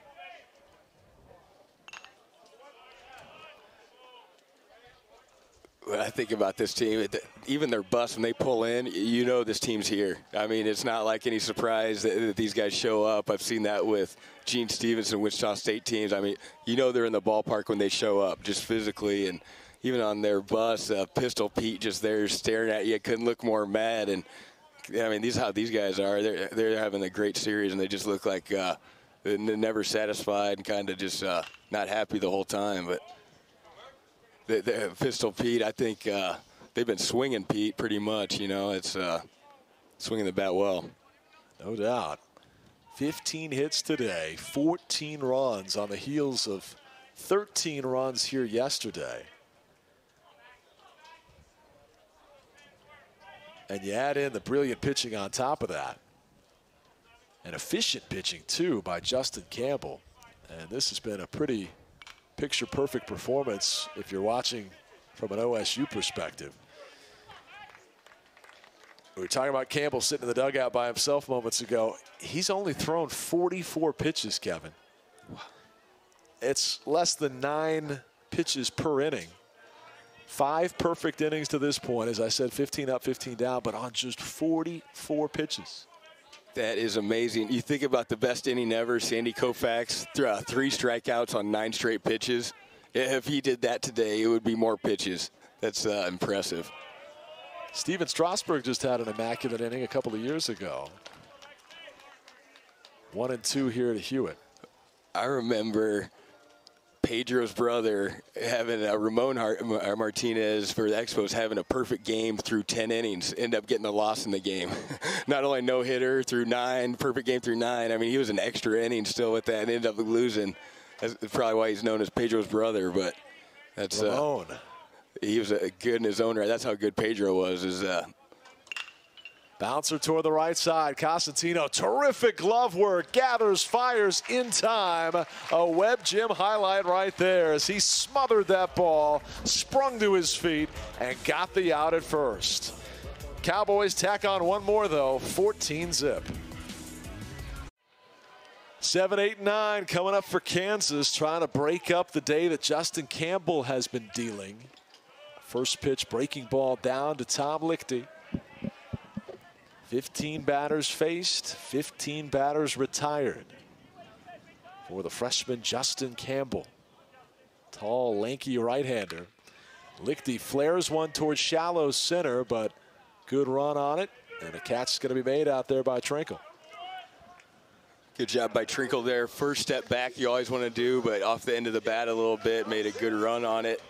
Another nice pitch. It shows some respect to Lichty. He just hammered a ball in the first inning or early in the game, and uh, now got a first pitch breaking ball from a guy that's just been dealing first pitch strikes. But I like to think what Cosentino did. He dove towards that ball to get that out. No way you're going to make that play otherwise. Tremendous plus play in a game where it doesn't look like it matters, but that could be a spark to, to get a little something going.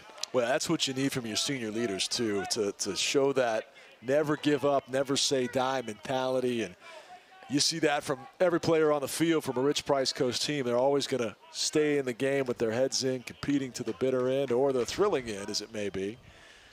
And we've seen that two nights in a row now with good effort in the latter innings, even in margins that have been beyond the reach 14 nothing right now. They're still battling, but can they get a hit to break up this perfect game no hitter that's being thrown right now by Justin Campbell? Campbell going to that breaking ball a little more the second time through the order, and it's just a different look early in the count. You're used to that fastball coming straight down, and then breaking ball goes up out of the hand. So it's just another uh, aspect to look at. Did he go around? He did. And down goes Cosentino, a second out here in the Kansas sixth. That's Six Ks now for Campbell. That's how you pitch backwards. Breaking ball, breaking ball, fastball. I don't think that's a strike or a swing, uh, but if you're dealing like that, I talked early in the game, if you show you're going to hit your spot, you can see uh, get three, four inches off the plate by the end of the game just by uh, them expecting it to be a strike. And it's a great pitch with two strikes, whether it's a strike or not. Now Jack Wagner sees a breaking ball strike at the knees. Wagner 0 for 1. Batting average down to 274. Lifts this one foul and quickly finds himself in an 0-2 hole. Again, just 52 pitches thrown. And Campbell is one pitch away from being two-thirds of the way through this game. He talked about the rarity of Sears' complete game two-hit shutout of Texas two years ago on 86 pitches. Campbell has a chance to economize his pitches even better than that. Wow. As he'll throw at least 54 in this inning, but still have 32 to go with Nine outs left to equal Sear. There's a punch him out, called third strike. Down goes Wagner, and Campbell's brilliance continues. Now six innings of perfection on the mound. Cowboys continue to lead it 14 0. New pitcher for the Kansas Jayhawks as we move on to the seventh inning. Kansas hands the ball to Sam Brady, a freshman out of Lake Quivira, Kansas, and KC Rockhurst. Jayhawks find themselves down 14 0. But a developing story is the pitching of Oklahoma State starter Justin Campbell, his mastery on the mound. Now 18 batters up and 18 batters down. He is nine outs away from a perfect game. Meanwhile, the youngster comes on for Kansas, Sam Brady. What's the mindset here for a guy that doesn't get a ton of Big 12 opportunities? Suddenly, even though it's a blowout game, is facing off against the best hitter in America, arguably, in Encarnacion Strand. What's going on between the ears of Brady?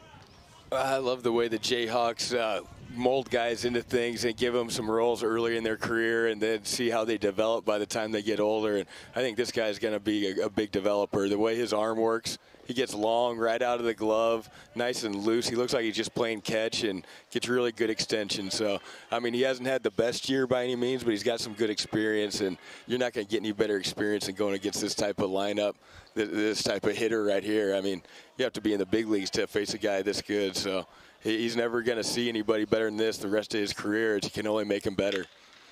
This one smashed toward third, a juggle, a recollection, and a fire across the diamond in time. Nice job by Messinger.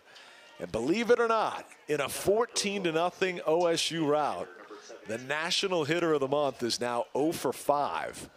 He has had a hand in an RBI and a run, so it's not like he's not contributing at all, but amazing to think on a day like this, one of their proudest days at the plate, that Encarnacion Strand would be 0 for 5 you got to bench that guy. I mean, how do you even let him play anymore?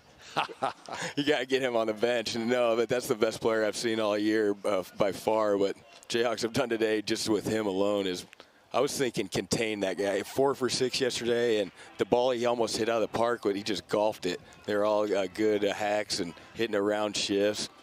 Uh, unreal how, how well they've done today. He's not going to feel good tonight. I don't care if they win or lose. Jayhawks have done a nice job with him.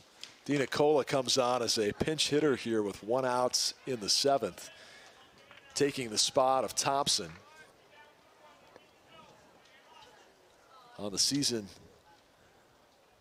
this young man, De Nicola, hitting at 200. It's just his sixth at bat of the year. He smashes this one to left. If it's fair, it's gone. It's hooking toward the pole, and that's a fair ball and a home run. And Nick Nicola steps up with opportunity knocking and knocks it out of the park with a solo bomb. Just his second hit of the year, obviously his first home run, and you can hear the roars from the Cowboy dugout, fired up for their reserve. Everybody having a hand in this one today that was a Carlton Fisk right there. That ball was gone off the bat. It was just a matter if it stayed fair or foul, and it looked like it hooked way foul to me, at least by a couple feet. But it started in play big time, and I thought it went on the left side. It's hard to tell from this angle. But yeah, that's a guy that good second hit to have for sure. And like I said, that both these teams are stacked. There's guys on the bench that uh, can really play as well, and I'm sure that inter squad games just uh, just unreal type atmosphere. 15 to nothing Oklahoma State after a 13-4 win last night. And with that swing, they now have their third best offensive output of the season. Third. Earlier this year, they beat Arkansas Pine Bluff 28 to nothing. They beat West Virginia 21-11 in eight innings. And then there were 14 run outbursts, outbursts versus uh, Wichita State and Kansas State. As this one by McCusker is smashed way, way, way back, and it's gone.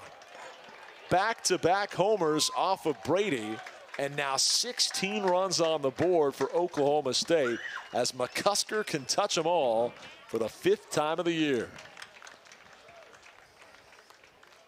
That is an A hack right there. He robbed one yesterday, but I don't think he would have been able to rob this one. This one is absolutely launched. That's an A hack right there. On time, aggressive with the A hack. If you don't get inside on those kind of hands and leave it over the plate on this kind of righty, what a power swing. And and I've never seen a team look so just non uh, not happy to be doing this. It's un unreal. It looks like they do it every day. And but that's that's a really good team, and that swing, that's up that light pole, Brian. Maybe over it. Amazing.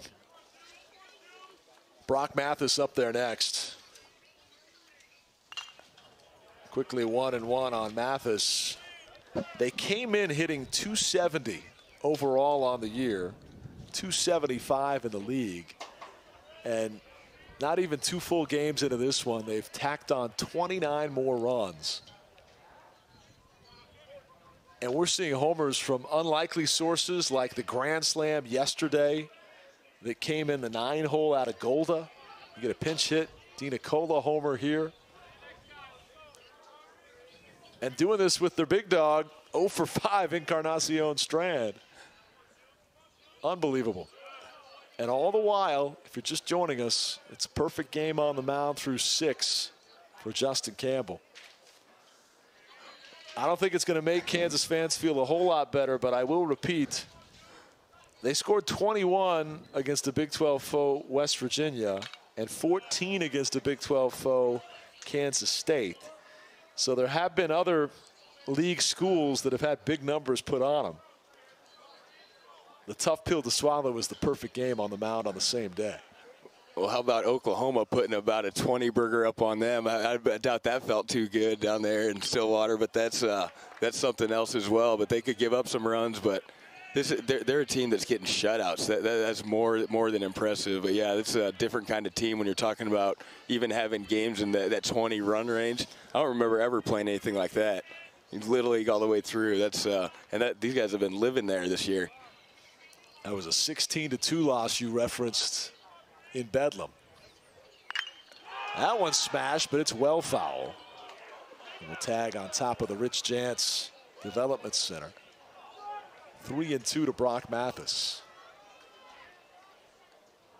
So, what's the challenge in the Kansas dugout with nine outs to go to not let Justin Campbell make history? Don't allow, on a day where the Jayhawks obviously have this one well beyond their reach in the win and loss debate, how can they at least avoid not being a footnote in Cowboy history with an all-star performance on the mound that could be either a perfect game or a no-hitter when it's all said and done.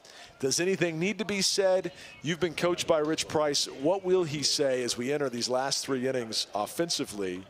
Top of the order coming up next inning to try to break up what that man at the back of the dugout with the purple hoodie has done these first six innings. Well, I'd say you remember that game down in Norman when you guys took uh, Oklahoma extra innings and beat them with the home run.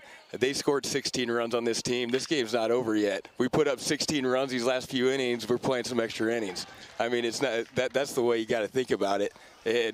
This whole conference is stacked. But if Oklahoma could do it on these guys, I guarantee you the Jayhawks can as well. So you never know. It's uh, nothing's over till it's over. That's all I'm saying. And you got to play the game that way you're going to get hurt if you're not going full effort and you just keep going. You, you, you never give up, never quit. And might not be realistic, but I don't care. If you play the game, you, play it the right way. It doesn't matter what the scoreboard says.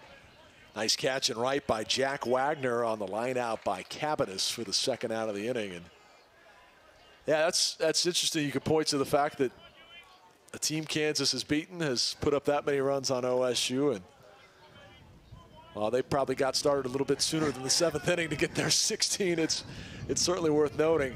And, and I'm not even talking about, you know, huge runs at this point, just talking about breaking up perfection and, and trying to make sure that this isn't a historic moment for Campbell that comes on your home field on the same day that they put 16 on the board. Morrill has had as big a hand in that as any. And oh, by the way, he lacks the triple for the cycle. Homering in his last at bat. He's four for four. Couple of singles, a double, a homer. But he won't get the cycle here. Flies this one down the right field line. Wagner giving chase will make the catch. And that will retire the side. But two more tacked on. DeNicola, first home run. McCusker, his fifth. Back-to-back -back jacks make it 16 to nothing.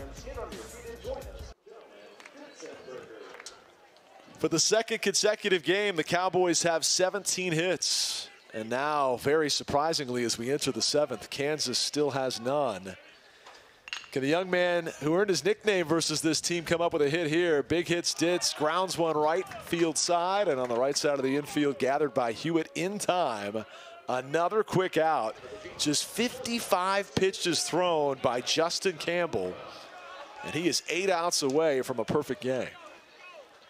But these will be the toughest next two outs. Ahuna and Josenberger, the two uber talented freshmen that both could wind up as freshman All-American. Certainly Josenberger well on his way toward that. Maui today 0 for 2. A breaking ball strike has him at 1 and 1. Yesterday 0 for 3 with a walk for Ahuna. Ditzenberger now 0 for 7 on the series. Now a ball and two strikes. What has Campbell done the best? You've talked about the release point coming down on you, all that, but if you could sum up this masterful outing to this point with one thing that he's been especially great at. Did he go? No. Two and two now on Ahuna. What's that one thing been for Justin Campbell? Well, take a look at him right now. He's off the mound. That's the first time all game I've seen him not on the mound ready to pitch. Look, he's ready before any hitter's ready. He's up there ready to pitch. He knows what his mechanics are, and he's ready to start dealing. If you do that, how good is your defense going to be behind you? They're, they better be ready if you're, you're that ready. So, I mean, for a freshman, that's just great tempo, great composure. This is the first time ever ever even seen him get off the mound. Oh, that is the worst spot to get hit on front top right there. Right that off the foot. Yeah. He hobbled around a bit, but stays in. The 2-2. Now 3 and 2. And again, it's not just a no-hitter, it's a perfect game right now. No walks to this point.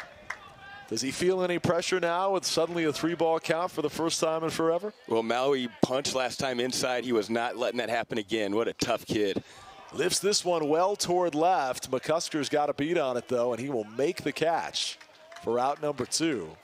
Needing to throw a strike, Campbell did, and McCusker had his back. Now Tavian Josenberger. If there's one guy in this lineup you'd have to fear the most to break up a no-no, it's Tavian Josenberger, who came in hitting 400 in Big 12 play, 333 on the season, just had his 24 gamer snapped on Wednesday, but he's been that good. He's fast, he can get on in a number of ways. You could make the case this is the toughest remaining hurdle for Campbell with seven outs to go. Well, take a look at where the defense is playing. There's a guy who can lay down a drag bunt any second and take a base hit right now if he wants it. You know, but this defense, they're playing in the outfield. Every one of these infielders and just getting range against a good hitter. Uh, really good hitter. I think if you one guy to break this up in the whole conference, Josenberger. He not only gets on base, he gets hits both sides of the plate, and just a, just an absolute stud. Uh, what he's done. I like that play in the outfield. Took away an extra base hit after he lost the ball. The 2 1. Bounce towards second. They've got it with Hewitt. Throws the first in time.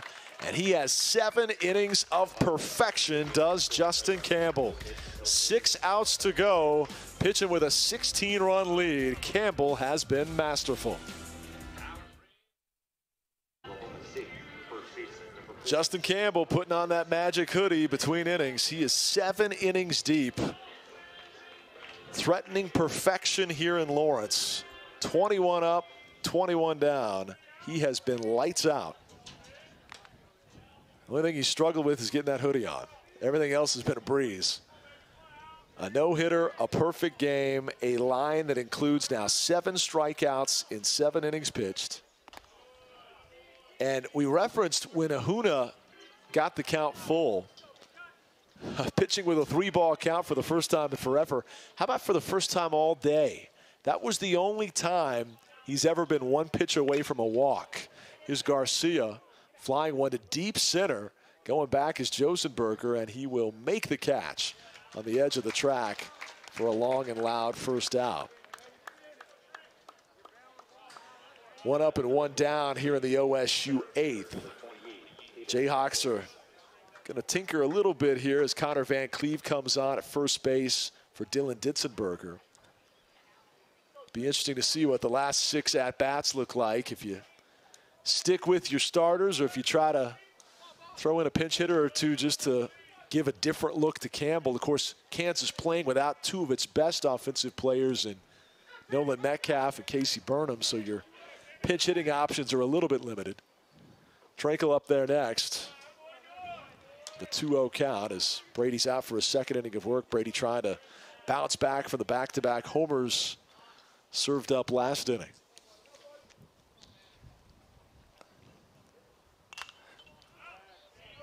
Now a 2-1 count after the foul ball.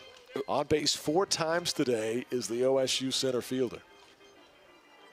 I don't know what to tell you about Campbell. It definitely looked something looked weird to me putting on that jacket. It looked like he was not comfortable with that throwing arm. Like his hand was numb or cramping or almost like blisters or something. It, it something doesn't look. Uh, he's definitely working with something and battling through something, believe it or not. But he, he was something is not 100% right with him. There's a walk of Trenkle, and we actually went into the dugout because he did have somebody talking to him that looked like a trainer prior to putting the hoodie on. And then he was looking at his hand as he got his hand through the, the sleeve. He seems to be sitting fine, and obviously when you've got a no-no going, nobody's going to come up and bother you. He's just focused, staring straight ahead. I don't want to speculate on what you may have seen there too much until we see him back onto the mound and see if it affects him. But he has been absolutely brilliant for seven innings for the second year freshman out of Simi Valley, California. I just mentioned it because if he is going through something, he is not showing it on that mound. I mean, if he's in uh, not feeling 100% right or dealing with some kind of wrist or uh, blister type situation, he has done a great job battling, and that's just focus right there. If you're not feeling your best and still giving your best performance.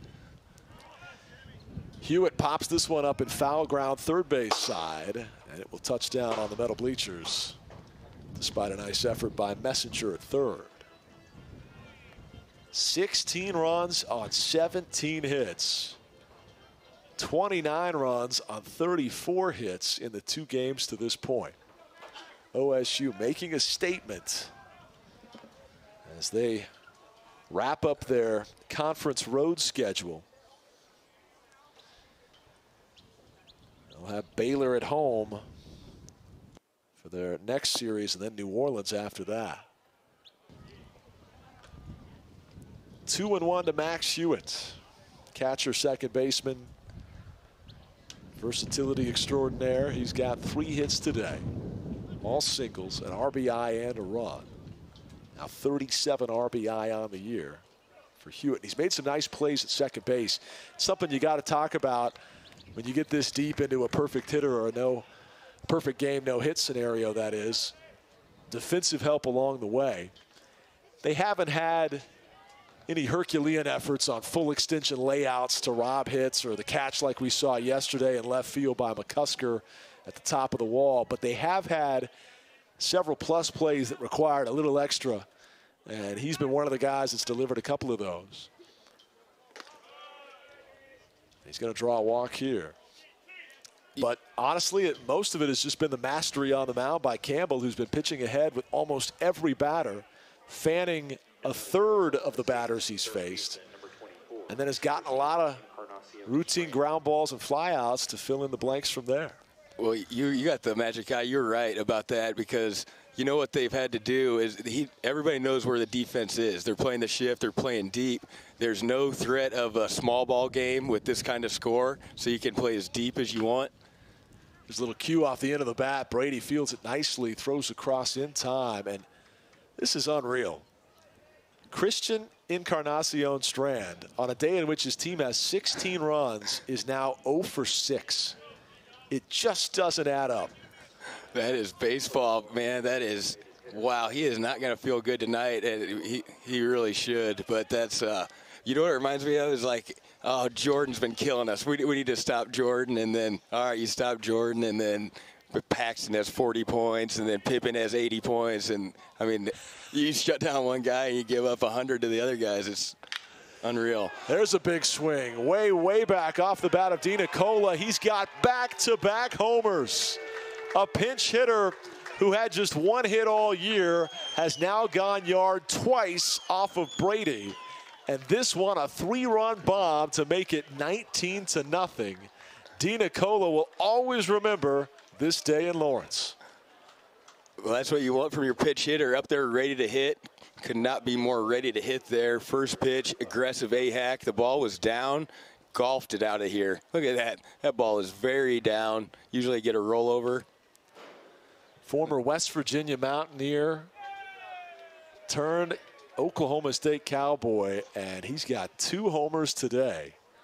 We were singing the praises of Campbell in that cleanup spot. He gets pinch hit for, and the guy behind him it's been lights out. Here's a laser beam stabbed by Messinger. Nearly took his glove off.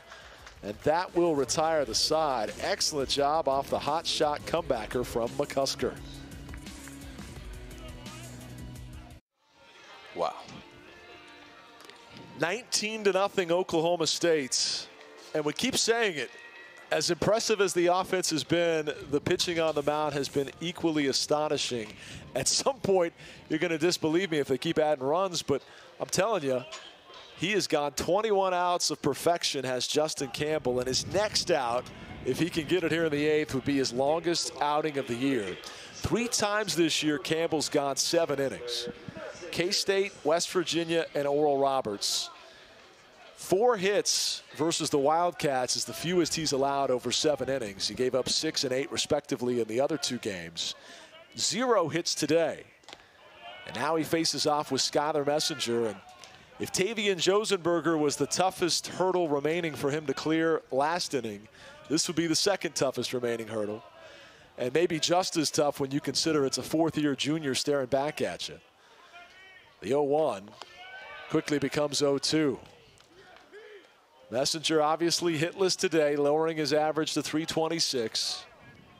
Yesterday came up with a hit in the eighth, but was robbed on two brilliant swings before that, including one up against the fence in left center field. Leads Kansas in numerous categories. Ball high. And if anybody remaining would have a veteran reproach on top of the stats to back it up to be the guy that breaks up a no-no, you'd think it would be Messinger. Obviously, Vosik behind him, somewhat similar. Hit foul. Yeah, you look at that battle against K-State, and those are two big-time pitchers going against each other, and he went seven innings, giving up four hits. Jayhawks, believe it or not, it's not over. They could still do better than that. He's only got through seven. He hasn't got one out yet. They could run together five straight hits, and it's a better performance. So this game ain't over yet. Bouncer towards short. They'll have to hustle. The throw by Morrill in time. And the team leader with 56 hits on the year for Kansas is retired. The perfect game continues. Now can Brett Vosik, the team leader in walks, somehow break up perfection as you see Morrill again hustling in on a nice play. So was Messinger. Both of them were hustling, but I love that pitching. The high fastball to get an eyes change, and then a slow, low changeup, get a weak ground ball. Vosik from the left-hand side, and the shift is on as you see Morrill move about 10 feet left of the bag at second. Second baseman standing in right field. And an 0-1 count to Vosik homered yesterday, has the most patient eye at the bat in terms of drawing walks. But now he's seen two strikes come by. 0-2 to Vosik. I think the most important pitch in baseball is strike one. He has done a nice job of that, but even more important is getting the first two out of the three pitches or strikes. If your first pitch isn't, the next two have to be, and that is what he is doing. Justin Campbell rarely getting to even two balls on a hitter. The 1 2 to Vosik. Late on the swing, but protective. He stays alive. 91 on the gun. When does adrenaline kick in? Of course, he's not that taxed with just 75 pitches, but you start to get this close to the finish line. He's reaching back for a little extra here, still popping the mid at 91. Yeah, that was a B hack. Great job keeping that at bat alive, and Vosik gets better with the better pitching. This is the best we've seen. Ball outside, two and two say one person in the order that could break this thing up is Brett Vosik. Uh, he has hit the best pitching. those are his best games, and this is the best pitcher we've seen on this mound this year, just by how well he's competed. Breaking ball high, and for just the second time today, a three-ball count as he comes all the way down off the mound to gather himself. Seven and a third is the longest he's gone. We referenced seven innings of four hit ball versus the Wildcats. That was on 50 more pitches than what he's thrown today. Can he keep perfection going here? A payoff pitch to Vosik. Ball four, he walked him. The no-hitter is still intact, but the perfect game is no more. And if there was a Jayhawk in line to break it up with a walk, it's that young man, Brett Vosik, his team leading 37th base on balls this year. Yeah, one thing I like too, you saw even in the first inning yesterday, uh, Coach trying to break up a good hitter's rhythm and everything, and Jayhawks probably have not stepped out enough to break up that rhythm, but uh, they just keep playing it the right way. Now he blows a fastball at 91 by Tulimero. 0-1 to the Kansas catcher who's 0 for 2. Perfect game broken up. Now how about the no-hitter? Kansas trying to do something to dent this scoreboard down 19 to nothing.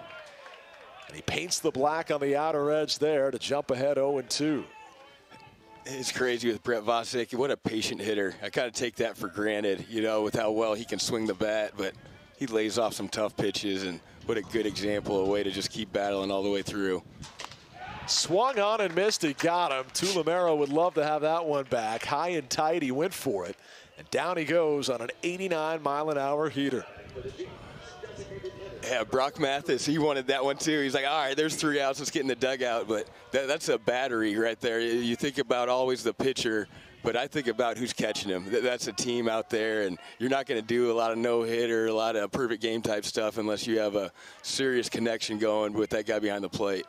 Four outs away from a no hitter. Tom Lichty coming up next. Lichty 0 for 2. Batting average is now dipped just a touch below 240. But he's a guy that's hit cleanup at times for Kansas and certainly a capable bat from the left-hand side. Junior out of Reno. High and away.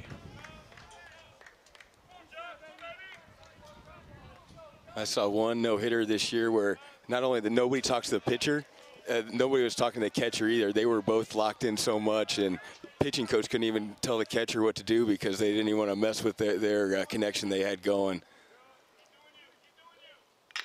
Bouncer towards short. Morrill's got it, sprints to the bag and gets the force out there. That will retire the side. Out number 24 recorded. Three outs to go for Justin Campbell. It is bid for a no-hitter. On to the ninth inning we go. The Cowboys with a 19-run lead, but more importantly, three outs away from a no-hitter for Justin Campbell, and Kansas will bring in another reliever, Gabriel Sotomayor, taking over for the last three outs for Kansas in the field. All eyes on what the Cowboys hope will be three more outs when they take the field in the bottom of this inning. No more perfect game talk as Vosik broke that up with a walk. But Justin Campbell has been the story here today. If it's possible to outshine 19 runs, Brock Mathis lines one to second. Cosentino's got it for a quick first out for Sotomayor. Hard to imagine that a 19 run on 18 hit outburst would be outshined by anything. But we are three outs away from seeing Justin Campbell possibly throw a no-hitter here at Kansas, a guy that came in with a 4 and 1 record, but the last three starts he made were all games that the Cowboys lost at TCU, at home to Texas, at Oklahoma. And yet here he sits 24 outs deep with all the run support a pitcher could ever hope for in a month, let alone a day. He just needs three more outs, and he'll be facing the bottom of the order, 8, 9, and 1. This one bounced by Cabbiness to Cosentino. He's got it. Flips to Connor Van Cleve. Quickly two outs. And what will Rich Price do with those last three Kansas hitters? It'll be Cosentino, who just made the last two defensive plays. Wagner and Ditzenberger has been pinch hit for with Van Cleve. Or rather, he's been replaced in the field by Van Cleve. So you've got those three set to come up. For Van Cleve, it would be his first time facing Campbell. Cosentino and Wagner a collective 0 for 4. That's the 8, 9, and 1 due up in the bottom of this inning. Meanwhile, this is something we've hardly talked about, but Morrill is just the triple away from the cycle. I say just the triple, it's the toughest part, but the eight hole hitter who's done a great job defensively as well for this Cowboy team. Shortstop is four for five, four runs, including a homer, a double, and a couple of singles. You're all over it because I'd say the perfect game. That's so rare. You never see that, but you see no hitters. We got Leiter, uh, nasty for Vanderbilt's already seen a 16 strikeout no hitter. You see that, but you never see cycles. This is even tougher now that the perfect game's gone. The next biggest thing is a cycle, even more than a no hitter. Really? Way bigger. Wait, what's tougher to get? What's been more of uh, over history of baseball? Cycles or no hitters? Ton more no hitters. Not even close. We'll see if Morrill can deliver here. With a two ball, two strike count, Sotomayor brings it in. And that's a called third strike. And a big inning of relief for Gabriel Sotomayor. But now the attention shifts to the man of the hour, Justin Campbell. Three outs away from a no hitter here in Lawrence. There's a look at a memorable scoreboard in multiple columns. 19 to nothing our score. But that zero hits on the Kansas ledger perhaps looms largest and speaks loudest as Justin Campbell comes out for three final outs in his bid for a no-hitter. Swing and a miss by Cosentino, who's 0 for 2 with a strikeout and a ground out. Behind him is Jack Wagner in the order. He's 0 for 2 with two Ks. It was a perfect game until last inning when Brett Vosik, one out deep in the eighth, drew a walk to break up the perfect game. Now Cosentino and company trying to break up the no-no. A 2-1. Lifted foul. And now 2 and 2 to the fifth year senior out of Leawood. Justin Campbell is not showing it, but he is amped up right now. He's just thrown the first two pitches 93 miles an hour, and before that, 91 was about as hard as we've seen him. So he's got the endurance, and he's feeling really good. Swing and a miss, and down goes Cosentino. Campbell now two outs away, and yet another strikeout. He's now got nine just above the belt, and that is just heat just above there, and that's as much emotion as you're going to see out of him all day right there. He was pumped up uh, just because of that pitch location. Just above the belt, looks like 10 miles an hour harder. Now Wagner. As I referenced, both of his outs have been strikeouts. They're going to stick with him, though, as the first pitch comes in low. 25 outs deep in a bid for a Cowboy no-hitter. A called strike there makes it one and one to Jack Wagner, the sophomore out of Wichita. And he's just now to 90 pitches. That's the pitch that got Campbell through this game. That breaker. He was working fastballs, but about the fifth inning, he started working backwards. He started leading guys with breakers, and he could throw that for a strike. He's been working ahead all day, but it's been with two different pitches the way he's getting ahead. Two and one to Wagner. That's a strike at the knees. And now Wagner down to his last strike. Trying not to take a sombrero with an 0 for 3 with three Ks. That was his hardest pitch of the game, believe it or not. Called strike three, you got him. Outer half of the plate, Wagner frozen. A 10th strikeout for Justin Campbell, and now he's one out away as Connor Van Cleve digs in from the left-hand side. Okay, two breaking balls, slow as you can get, just roller breakers. Then what happened? Fastball at 93 at the knees, harder than he's thrown the ball all game, and 95 right on the corner. I mean, that without a swing. How are you throwing 95 right now in the ninth, and you haven't even you've been 88 to 90 the whole game? That is adrenaline throwing. He's not showing it, but that guy is pumped. Justin Campbell vying to become the first Cowboy hurler to fire a no-hitter since 1993, and that was a combined no-hitter. They've had 10 in their illustrious history, eight by individual pitchers, two by a collective effort. He would be the ninth individual pitcher. He starts off Van Cleve 1-0. Blows that one by him, though, at 93. And now he's rearing back for something extra. 95 pitches deep. That's the best velo we've seen the last few innings. He is getting stronger and stronger. Love this from Coach Price. Tough lefty to give yourself a chance. Now Kansas and Van Cleve down to their final strike. Campbell ahead one and two on Connor Van Cleve. One pitch away from Cowboy baseball history. And that one's lifted foul to stay alive by Van Cleve. This game has not been in doubt since the first inning when the Cowboys posted nine runs. The drama throughout has been can he stay perfect? Now can he throw a no-hitter? The one-two. Called strike three, and there it is. Cowboy history is made by Justin Campbell. A no-hitter here in Lawrence, and the Cowboys win it 19 to nothing. The 11th no-hitter in OSU baseball history goes to Justin Campbell. A masterful job with 11 strikeouts, just one walk in the eighth inning, and 27 outs without a hit. Mobbed on the mound by his teammates. The redshirt freshman will savor this day for the rest of his life. The Cowboys win it 19 to nothing. All right, Brian, eight innings. He was a good pitcher. That ninth inning, he became a major league type pitcher. That showed some heart. That kid is a absolute battler. What a performance. You got to love to see that. His team almost killed him right there. They love that so much. That's as good a performance as you're ever going to see on this field. Great job, buddy. You, you, if you get one run in that game, you win that game. Great pitching performance, and look for Oklahoma State to keep moving up. What I saw was Josh Holliday, the coach, while they were mobbing each other, what'd he do? He went and grabbed that ball you know, I, that ball is special. That's not going to be done again. And Brett Vosik, good job breaking something up. But this guy was special.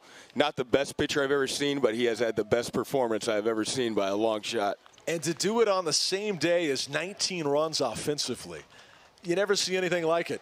We referenced it last night in the big leagues. Wade Miley didn't even have any run support until the ninth. He had nine runs, did Campbell, right out the gate, as you're seeing right here. The Cowboys swinging a hot bat early and often, never looked back after a nine run first.